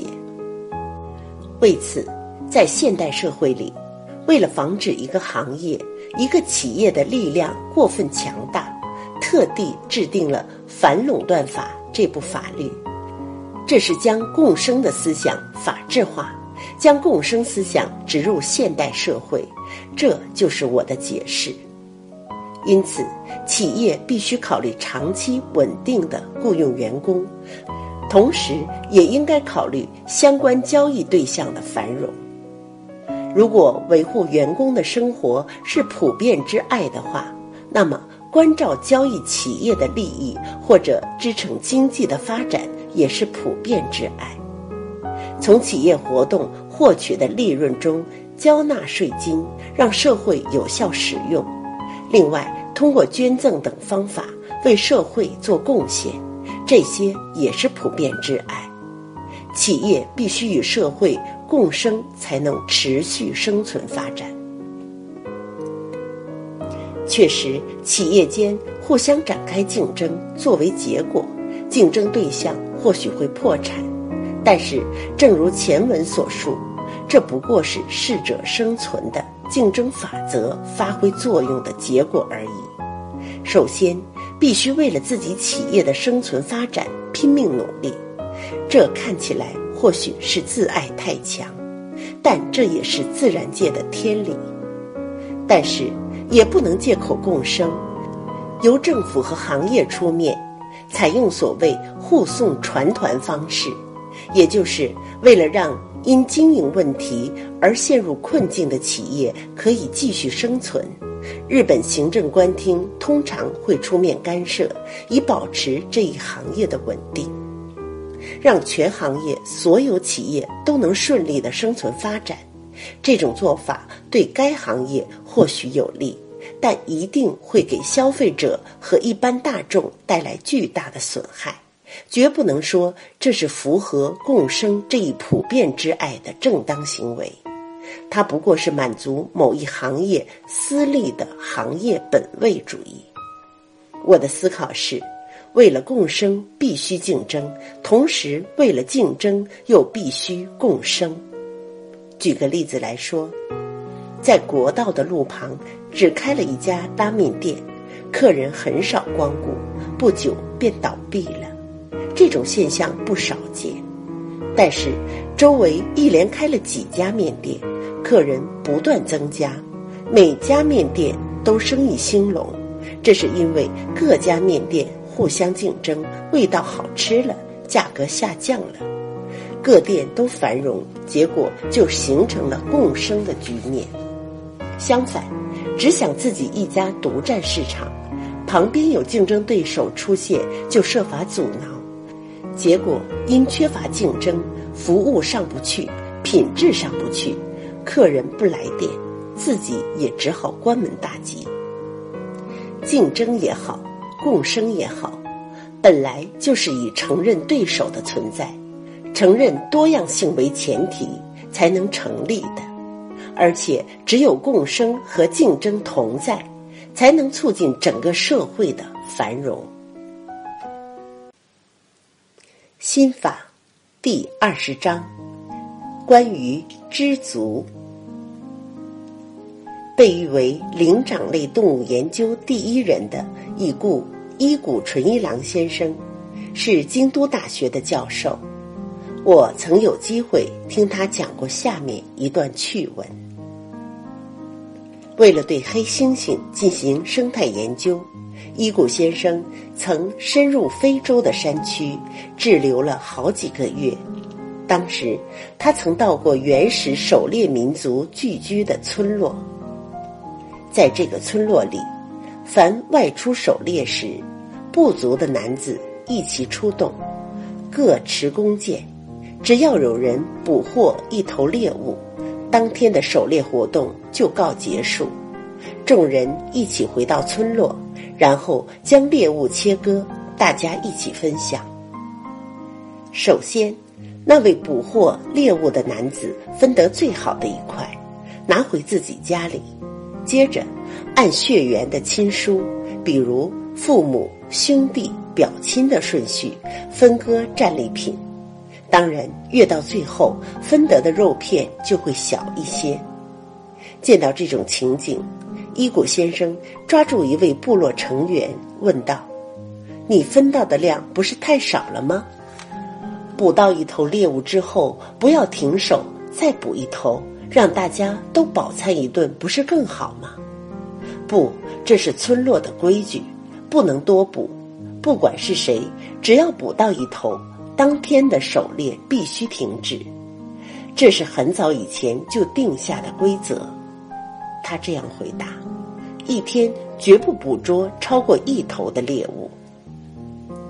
伊谷先生分析说，如果听凭自己的欲望多捕滥杀，不久必将招致野生动物数量的减少，到时自己的食粮也会发生困难。原住民们从本能上明白这个道理，所以他们绝不在超出野生动物再生产的范围之外捕杀猎物。另外，伊谷先生。讲到，在黑猩猩的社会里，居然也存在同样的现象。猩猩是杂食动物，通常吃树上的果实之类，但有时也会成群结队来到地上捕猎并食肉。他们用腕力或手握短棍击打小型动物，当击倒一头时，其他的猩猩立即停止狩猎。聚拢到击打猎物的猩猩身边，将肉片分而食之。就像这样，无论是原始的狩猎民族，还是黑猩猩，为了自己的生存，他们都在抑制自己的欲望，力图与自己周围的环境共生。他们具备这样的智慧，换句话说。抑制自己的欲望，反而是自己生存下去的条件。他们懂得这个道理。在非洲，还有一种原始部落是通过烧荒农业来维持生计的。那里的人们喜欢社交。当伊古先生走进他们时，他们招待伊古吃饭，热情款待。这个部落的酋长说。不久前，法国的考察队在这里逗留了好几天，也同样招待他们。结果自己的粮食却不够吃了。伊古问他们：“一年打多少粮食？”他们回答说：“只种植部落的人一年要吃的量。”伊古又说：“那么让访问者吃了，肯定就不够了。稍微多生产一点不行吗？”“那可不行。”酋长答道：“部落之神不允许。所谓烧荒农业，就是通过放火烧毁森林，使土壤肥沃，然后开垦种植，收获鱼类或谷物。因为不使用肥料，连年耕作后，土地渐次贫瘠，产量逐年减少。于是放弃这块土地，在别处森林放火烧出良田。”如此反复，借以确保获得肥沃的土壤。比如，把某个部落周围的森林十等份，顺次烧荒，然后分别耕作十年。于是，等再次开垦最早的那块土地时，已经过百年，森林已茂盛如初，烧毁的森林又能获得沃土，可以再次获得丰收。但是，如果不这么做，为了得到更多的粮食，而烧毁比平时更多的森林，短时期内的确可以收获更多的粮食，但从长期看，将有更多的土地变得贫瘠而不能耕作，饥馑必至。所以，对原住民而言，即使现在饿肚子，也绝不会在超出森林再生能力之外。去烧林造地。说到一百年后，就是三代以后的事情。就是说，为了曾孙一辈的生活，他们制定了严格的规则，哪怕自己挨饿，也严格遵守这一规则。据说，看到原住民的这种生活态度，伊谷先生敬服不已。他们没有科学知识，也许不懂得什么原理。但共生的生存方式，作为遗传基因已植入他们的血肉，代代相传，生生不息。为了促使森罗万象、一切生物万事永生，需要知足，需要抑制自身的欲望。就是这么一个原始的村落，却在忠实的践行这样的生存方式。反过来看。科学发达了，享受着富裕的生活，我们这些先进国家的人们又是怎样呢？蔑视自然，迫不及待，积极的追逐不断膨胀的欲望，就是这样，无论何时还永不知足。我们日本人已经足够富裕了，应该知足了，应该更多的考虑地球环境的问题了，应该考虑如何帮助发展中国家脱贫致富了。具备这样的共生的思想。不仅可以使我们每一个人的人生更加丰富多彩，而且如果让更多的人共有这种思想，我坚信，一个不仅物质富裕，而且精神富裕的社会一定能建成。心法第二十一章：我走过的人生道路。我在孩童时代。就读到了新宗教团体生长之家发行的书籍。当时我十三岁，患上了肺结核，面临死亡的威胁。我的叔叔叔母都在那时因肺结核相继过世。邻居中就有流言：道圣家都患肺结核，是前世作孽，或许全家都会死光。我觉得自己。可能也会这么死去，情绪十分低落。这时候，邻居家的太太借给我一本书，是生长之家的创始人谷口雅春先生写的《生命的实相》。书中写道：“心中描绘的事物会作为现象呈现。”书中用了“心象”这个词，意思是一个人的意识状态。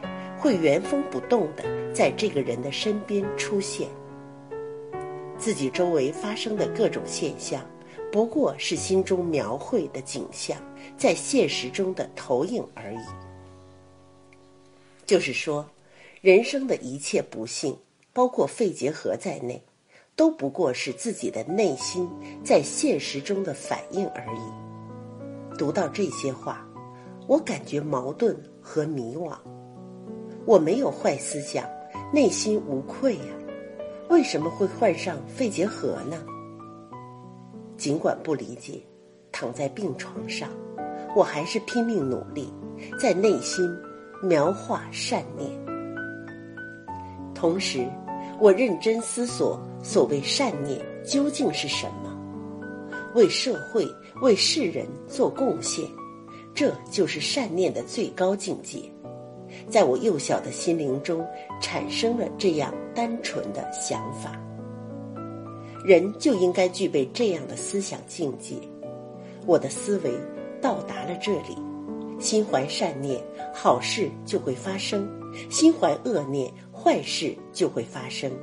既然如此，人就应该怀善念，想好事，不，必须有意识的尽最大努力去思善。行善，直面死亡，内心充满难以言喻的恐惧。正是这个时候，我理解了生命的实相。书中的观念陪伴我一路走到今天。在这过程中，虽然经历过升学考试的失败和求职的失败，但不可思议的是，我从来没有怀疑过书中的上述的教诲。每当有坏事发生，那是因为自己的想法有错，我就这么去思考。当然，因为是人，总会有烦恼。如果放任不管，只要自己好就行，但利己心就会冒头。但是，因为从小时候开始，我就竭力让自己心怀善念，这才让我有了今天这样的结果。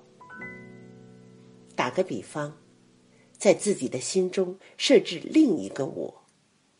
每当有自私任性的念头冒出，另一个我就会提醒自己：“请等一等，这不对劲儿啊，可不行啊，应该怀善念，想好事儿啊。”感觉上就是另一个我抑制了任本能冲动的我，有意识的发挥这样的抑制作用，结果才造就了今天的我。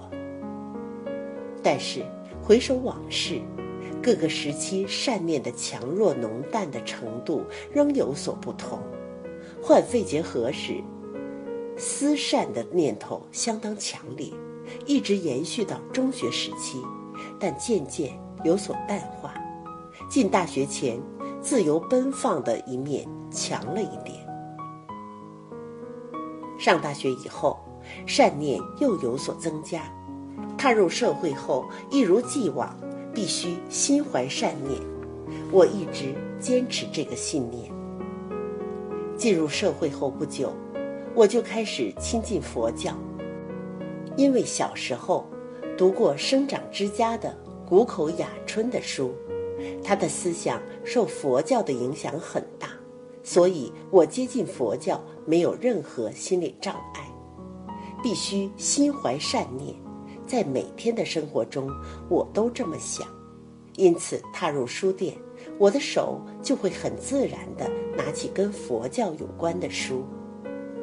佛教书中的内容与谷口雅春的思想吻合，所以我读得进去，没有抵触排斥的心理。我于一九九七年剃度出家，皈依了佛门。这件事儿，同我认识的一位长老有关。京瓷创业之初，我得到了西之一江先生的帮助。当时，他担任公募电机公司的专务董事。他是京都府八幡市元福寺长老的亲戚，年轻时就常去元福寺与长老饮酒聊天。因为这层关系，西之先生当了元福寺的监护人。后来。这位长老的继承人在土地买卖上出了问题，西之先生就把原在熊本的寺庙当长老的西片丹学请到元福寺当住持。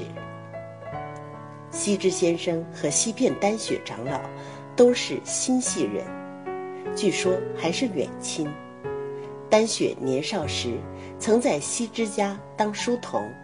后来考进了立命关大学，因患上了肺结核，吐血不止。这样下去难免一死，倒不如进寺庙去修行。丹雪提出这个想法，却遭到周围人的反对。你身体那么虚弱，而寺庙的修炼又那么严酷，这不等于自杀吗？但丹雪主意已定，无论如何都要去。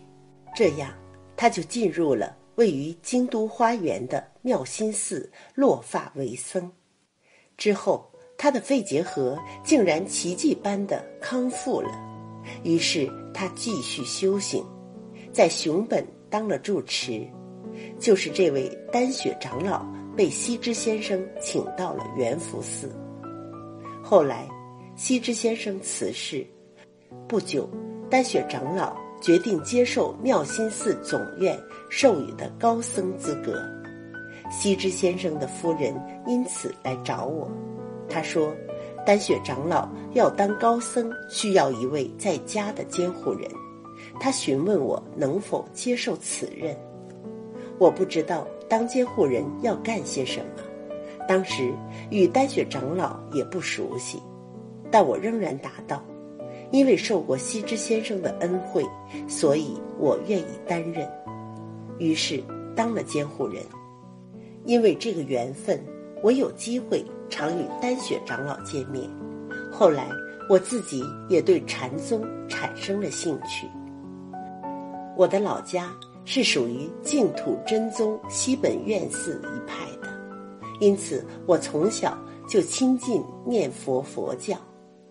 对禅宗一无所知，因为和丹雪长老的缘分，我接触了临济宗妙心寺派的人士，也因此被禅宗所吸引，想认认真真学一学，于是想到了出家。我想这里有两个原因，一个是丹雪长老的个人魅力，一个是禅宗本身的魅力。丹雪长老的修行十分严格，目前年近八十，始终维持独身，而且实行素食主义。在稻盛财团主办的京都奖的晚餐会上，只为丹雪长老一个人准备了素食。日本的禅宗僧人可以娶妻生子，也有不少人食肉，但丹雪长老。恪守正宗的禅规，很了不起。与他交往后，我切实的感觉到了他品格的高洁。我去寺庙拜访，丹雪长老总是沉默寡言，他从来不说让人难懂的话。他为我泡好抹茶，这时候只是我单方面讲述公司里发生的事情，他只管倾听，时而嗯嗯。的点头称是。与丹雪长老交往中，有几件事令我印象深刻，其中最难忘的是十五年前发生的一件事情。京瓷在没有取得政府认可的情况下，就销售用精密陶瓷做的人工膝关节，这件事一时成为新闻媒体集中炮轰的焦点。当时用精密陶瓷做的骨关节已经获得了认可，医生们强烈要求将这项技术应用于膝关节。我本来有许多理由来为京瓷辩护，但我当时采取了宁担污名不加申辩的态度。不料媒体不依不饶，连日大肆渲染，人很难彻底克制自己的愤懑。那时，我就跑去丹雪长老那里，向他倾诉，事情的原委是这样的，如今却倒霉如此。丹雪长老看过报纸，知道有关情况，但他对我说的第一句话却是：“这是没有办法的事啊，道圣先生，吃苦倒霉正是你活着的证据啊。”我本想得到他的安慰。岂料他却认为发生这种事乃是理所当然，我内心不免产生了失落感。此时他却接着说道：“遭遇灾难，正好是消除过去所造业障的机会。业障消去，该高兴才对。虽然至今为止你积累了哪些业障不得而知，但如果……”因为这样的小灾小难就能消除业障的话，那么不庆贺一番可不行啊！这番话，同白隐禅师在《坐禅合赞》中所说的“静心一禅坐，能灭无量罪”，如出一辙。这是让我精神重新振作的最高教诲。我有一种心灵获得救赎的感觉。后来，一九九七年九月七日，我在丹雪长老的引导之下，以在家修行的方式，在元福寺皈依了佛门。经常有人问我，究竟为什么要出家？其实，我早就打算到六十岁时就要出家。当时，我觉得自己可以活到八十岁，我想我的人生应该这样安排。从出生到二十岁，是为进入社会做准备的时期；从二十岁到六十岁的四十年间，是在社会上努力工作的时期；从六十岁到八十岁的二十年，是用来迎接死亡之旅做准备的时期。所以，到了六十岁，就要从企业隐退，做一些僧人做的事情，同时研究佛教。以便踏入新的旅程。就是说，我认为，在八十岁迎来肉体的死亡之际，将开启新的心灵旅程，灵魂意识体的旅程。我必须为此做好准备。那么，为什么我会认为自己的寿命是八十岁呢？因为有一位精通印度传统医学阿育吠陀的。瑜伽高僧来日本时，曾为我号脉诊断，当时只把了五分钟，他就断言：“你小时患过肺结核吧？患病的是右面的那个肺吧？是肺浸润。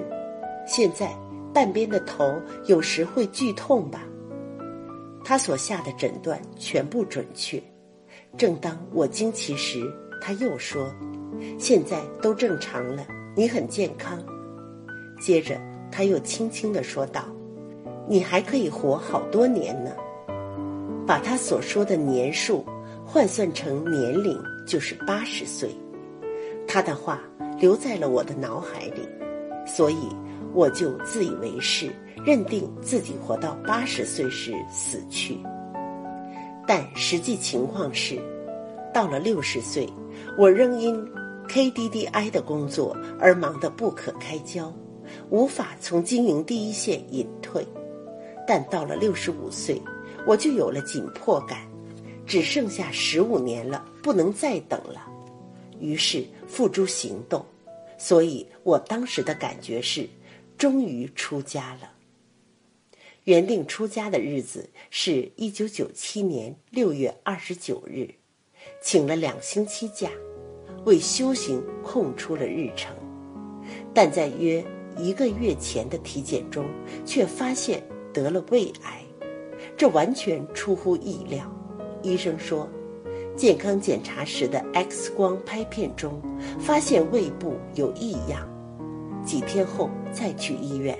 使用胃镜做精密检查，就从电视屏幕上看到了红肿的胃壁有糜烂部位，摄取细胞培养的结果，证实了是癌症。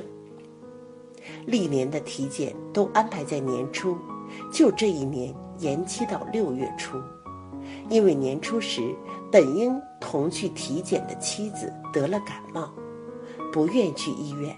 我也就没去，这才拖到六月份做检查，真幸运，时机正好发现了癌症。为什么说时机正好呢？因为如果一月份体检，可能还发现不了癌细胞，而再过一年体检，可能为时已晚了。医生说是早期癌，没有大碍，但手术切开一看。却是进行性胃癌，胃壁只剩一层皮了。因为是进行性胃癌，所以一月份检查的话，可能还没形成癌症。但如果等到第二年一月再检查时，因为癌细胞扩散很快，可能无法救治了。当医生告诉我是癌时，我既没有紧张，也没有恐惧，只是淡淡的说了一句。哦，是癌吗？白天听完医生的话，我仍按原来预定的日程，乘新干线去了冈山，在盛和熟例会上为中小型企业的经营者做讲演。在讲演结束后的恳亲会上，还喝了一点酒，在回京都的新干线上继续解答熟生们的问题。直到深夜，回到家里和平时一样安然入睡。经常有人问我，知道自己患了癌症，情绪没有波动吗？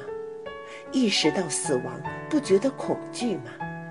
但是我确实没有这样的感觉。按照我的观点，死亡只是意识体的重新启程。我坚信那只是肉体的死亡，而不是灵魂的死亡。如果死亡意味着新的旅程的开始，那么即使是身患癌症而离世，也不是悲剧。当然，在少年时代患肺结核时，我不愿死，有求生的欲望；但到了五十岁，对于死亡，我再也没有惶恐不安的情绪了。为什么呢？是基于信仰之心吗？我觉得并不尽然。所谓信仰，就是相信死后阿弥陀佛会来救我，或者在基督的引导下去往天堂。但是在这些信仰之前，我已经相信生命不灭，死亡不过是肉体的消亡，我自己的灵魂是永存的，而且我认为这个灵魂需要不断的磨练，这才是最重要的事。在出家之后，从丹雪长老那里得到了这样的教诲：僧人修行再深，也难以对现实社会做出贡献。你经过修行之后，应回归世俗，为社会再做贡献，这才是佛道。今后我将遵循佛的教诲，为社会、为世人竭尽自己微薄的力量，同时不断提升自己的心性，这就是我的想法。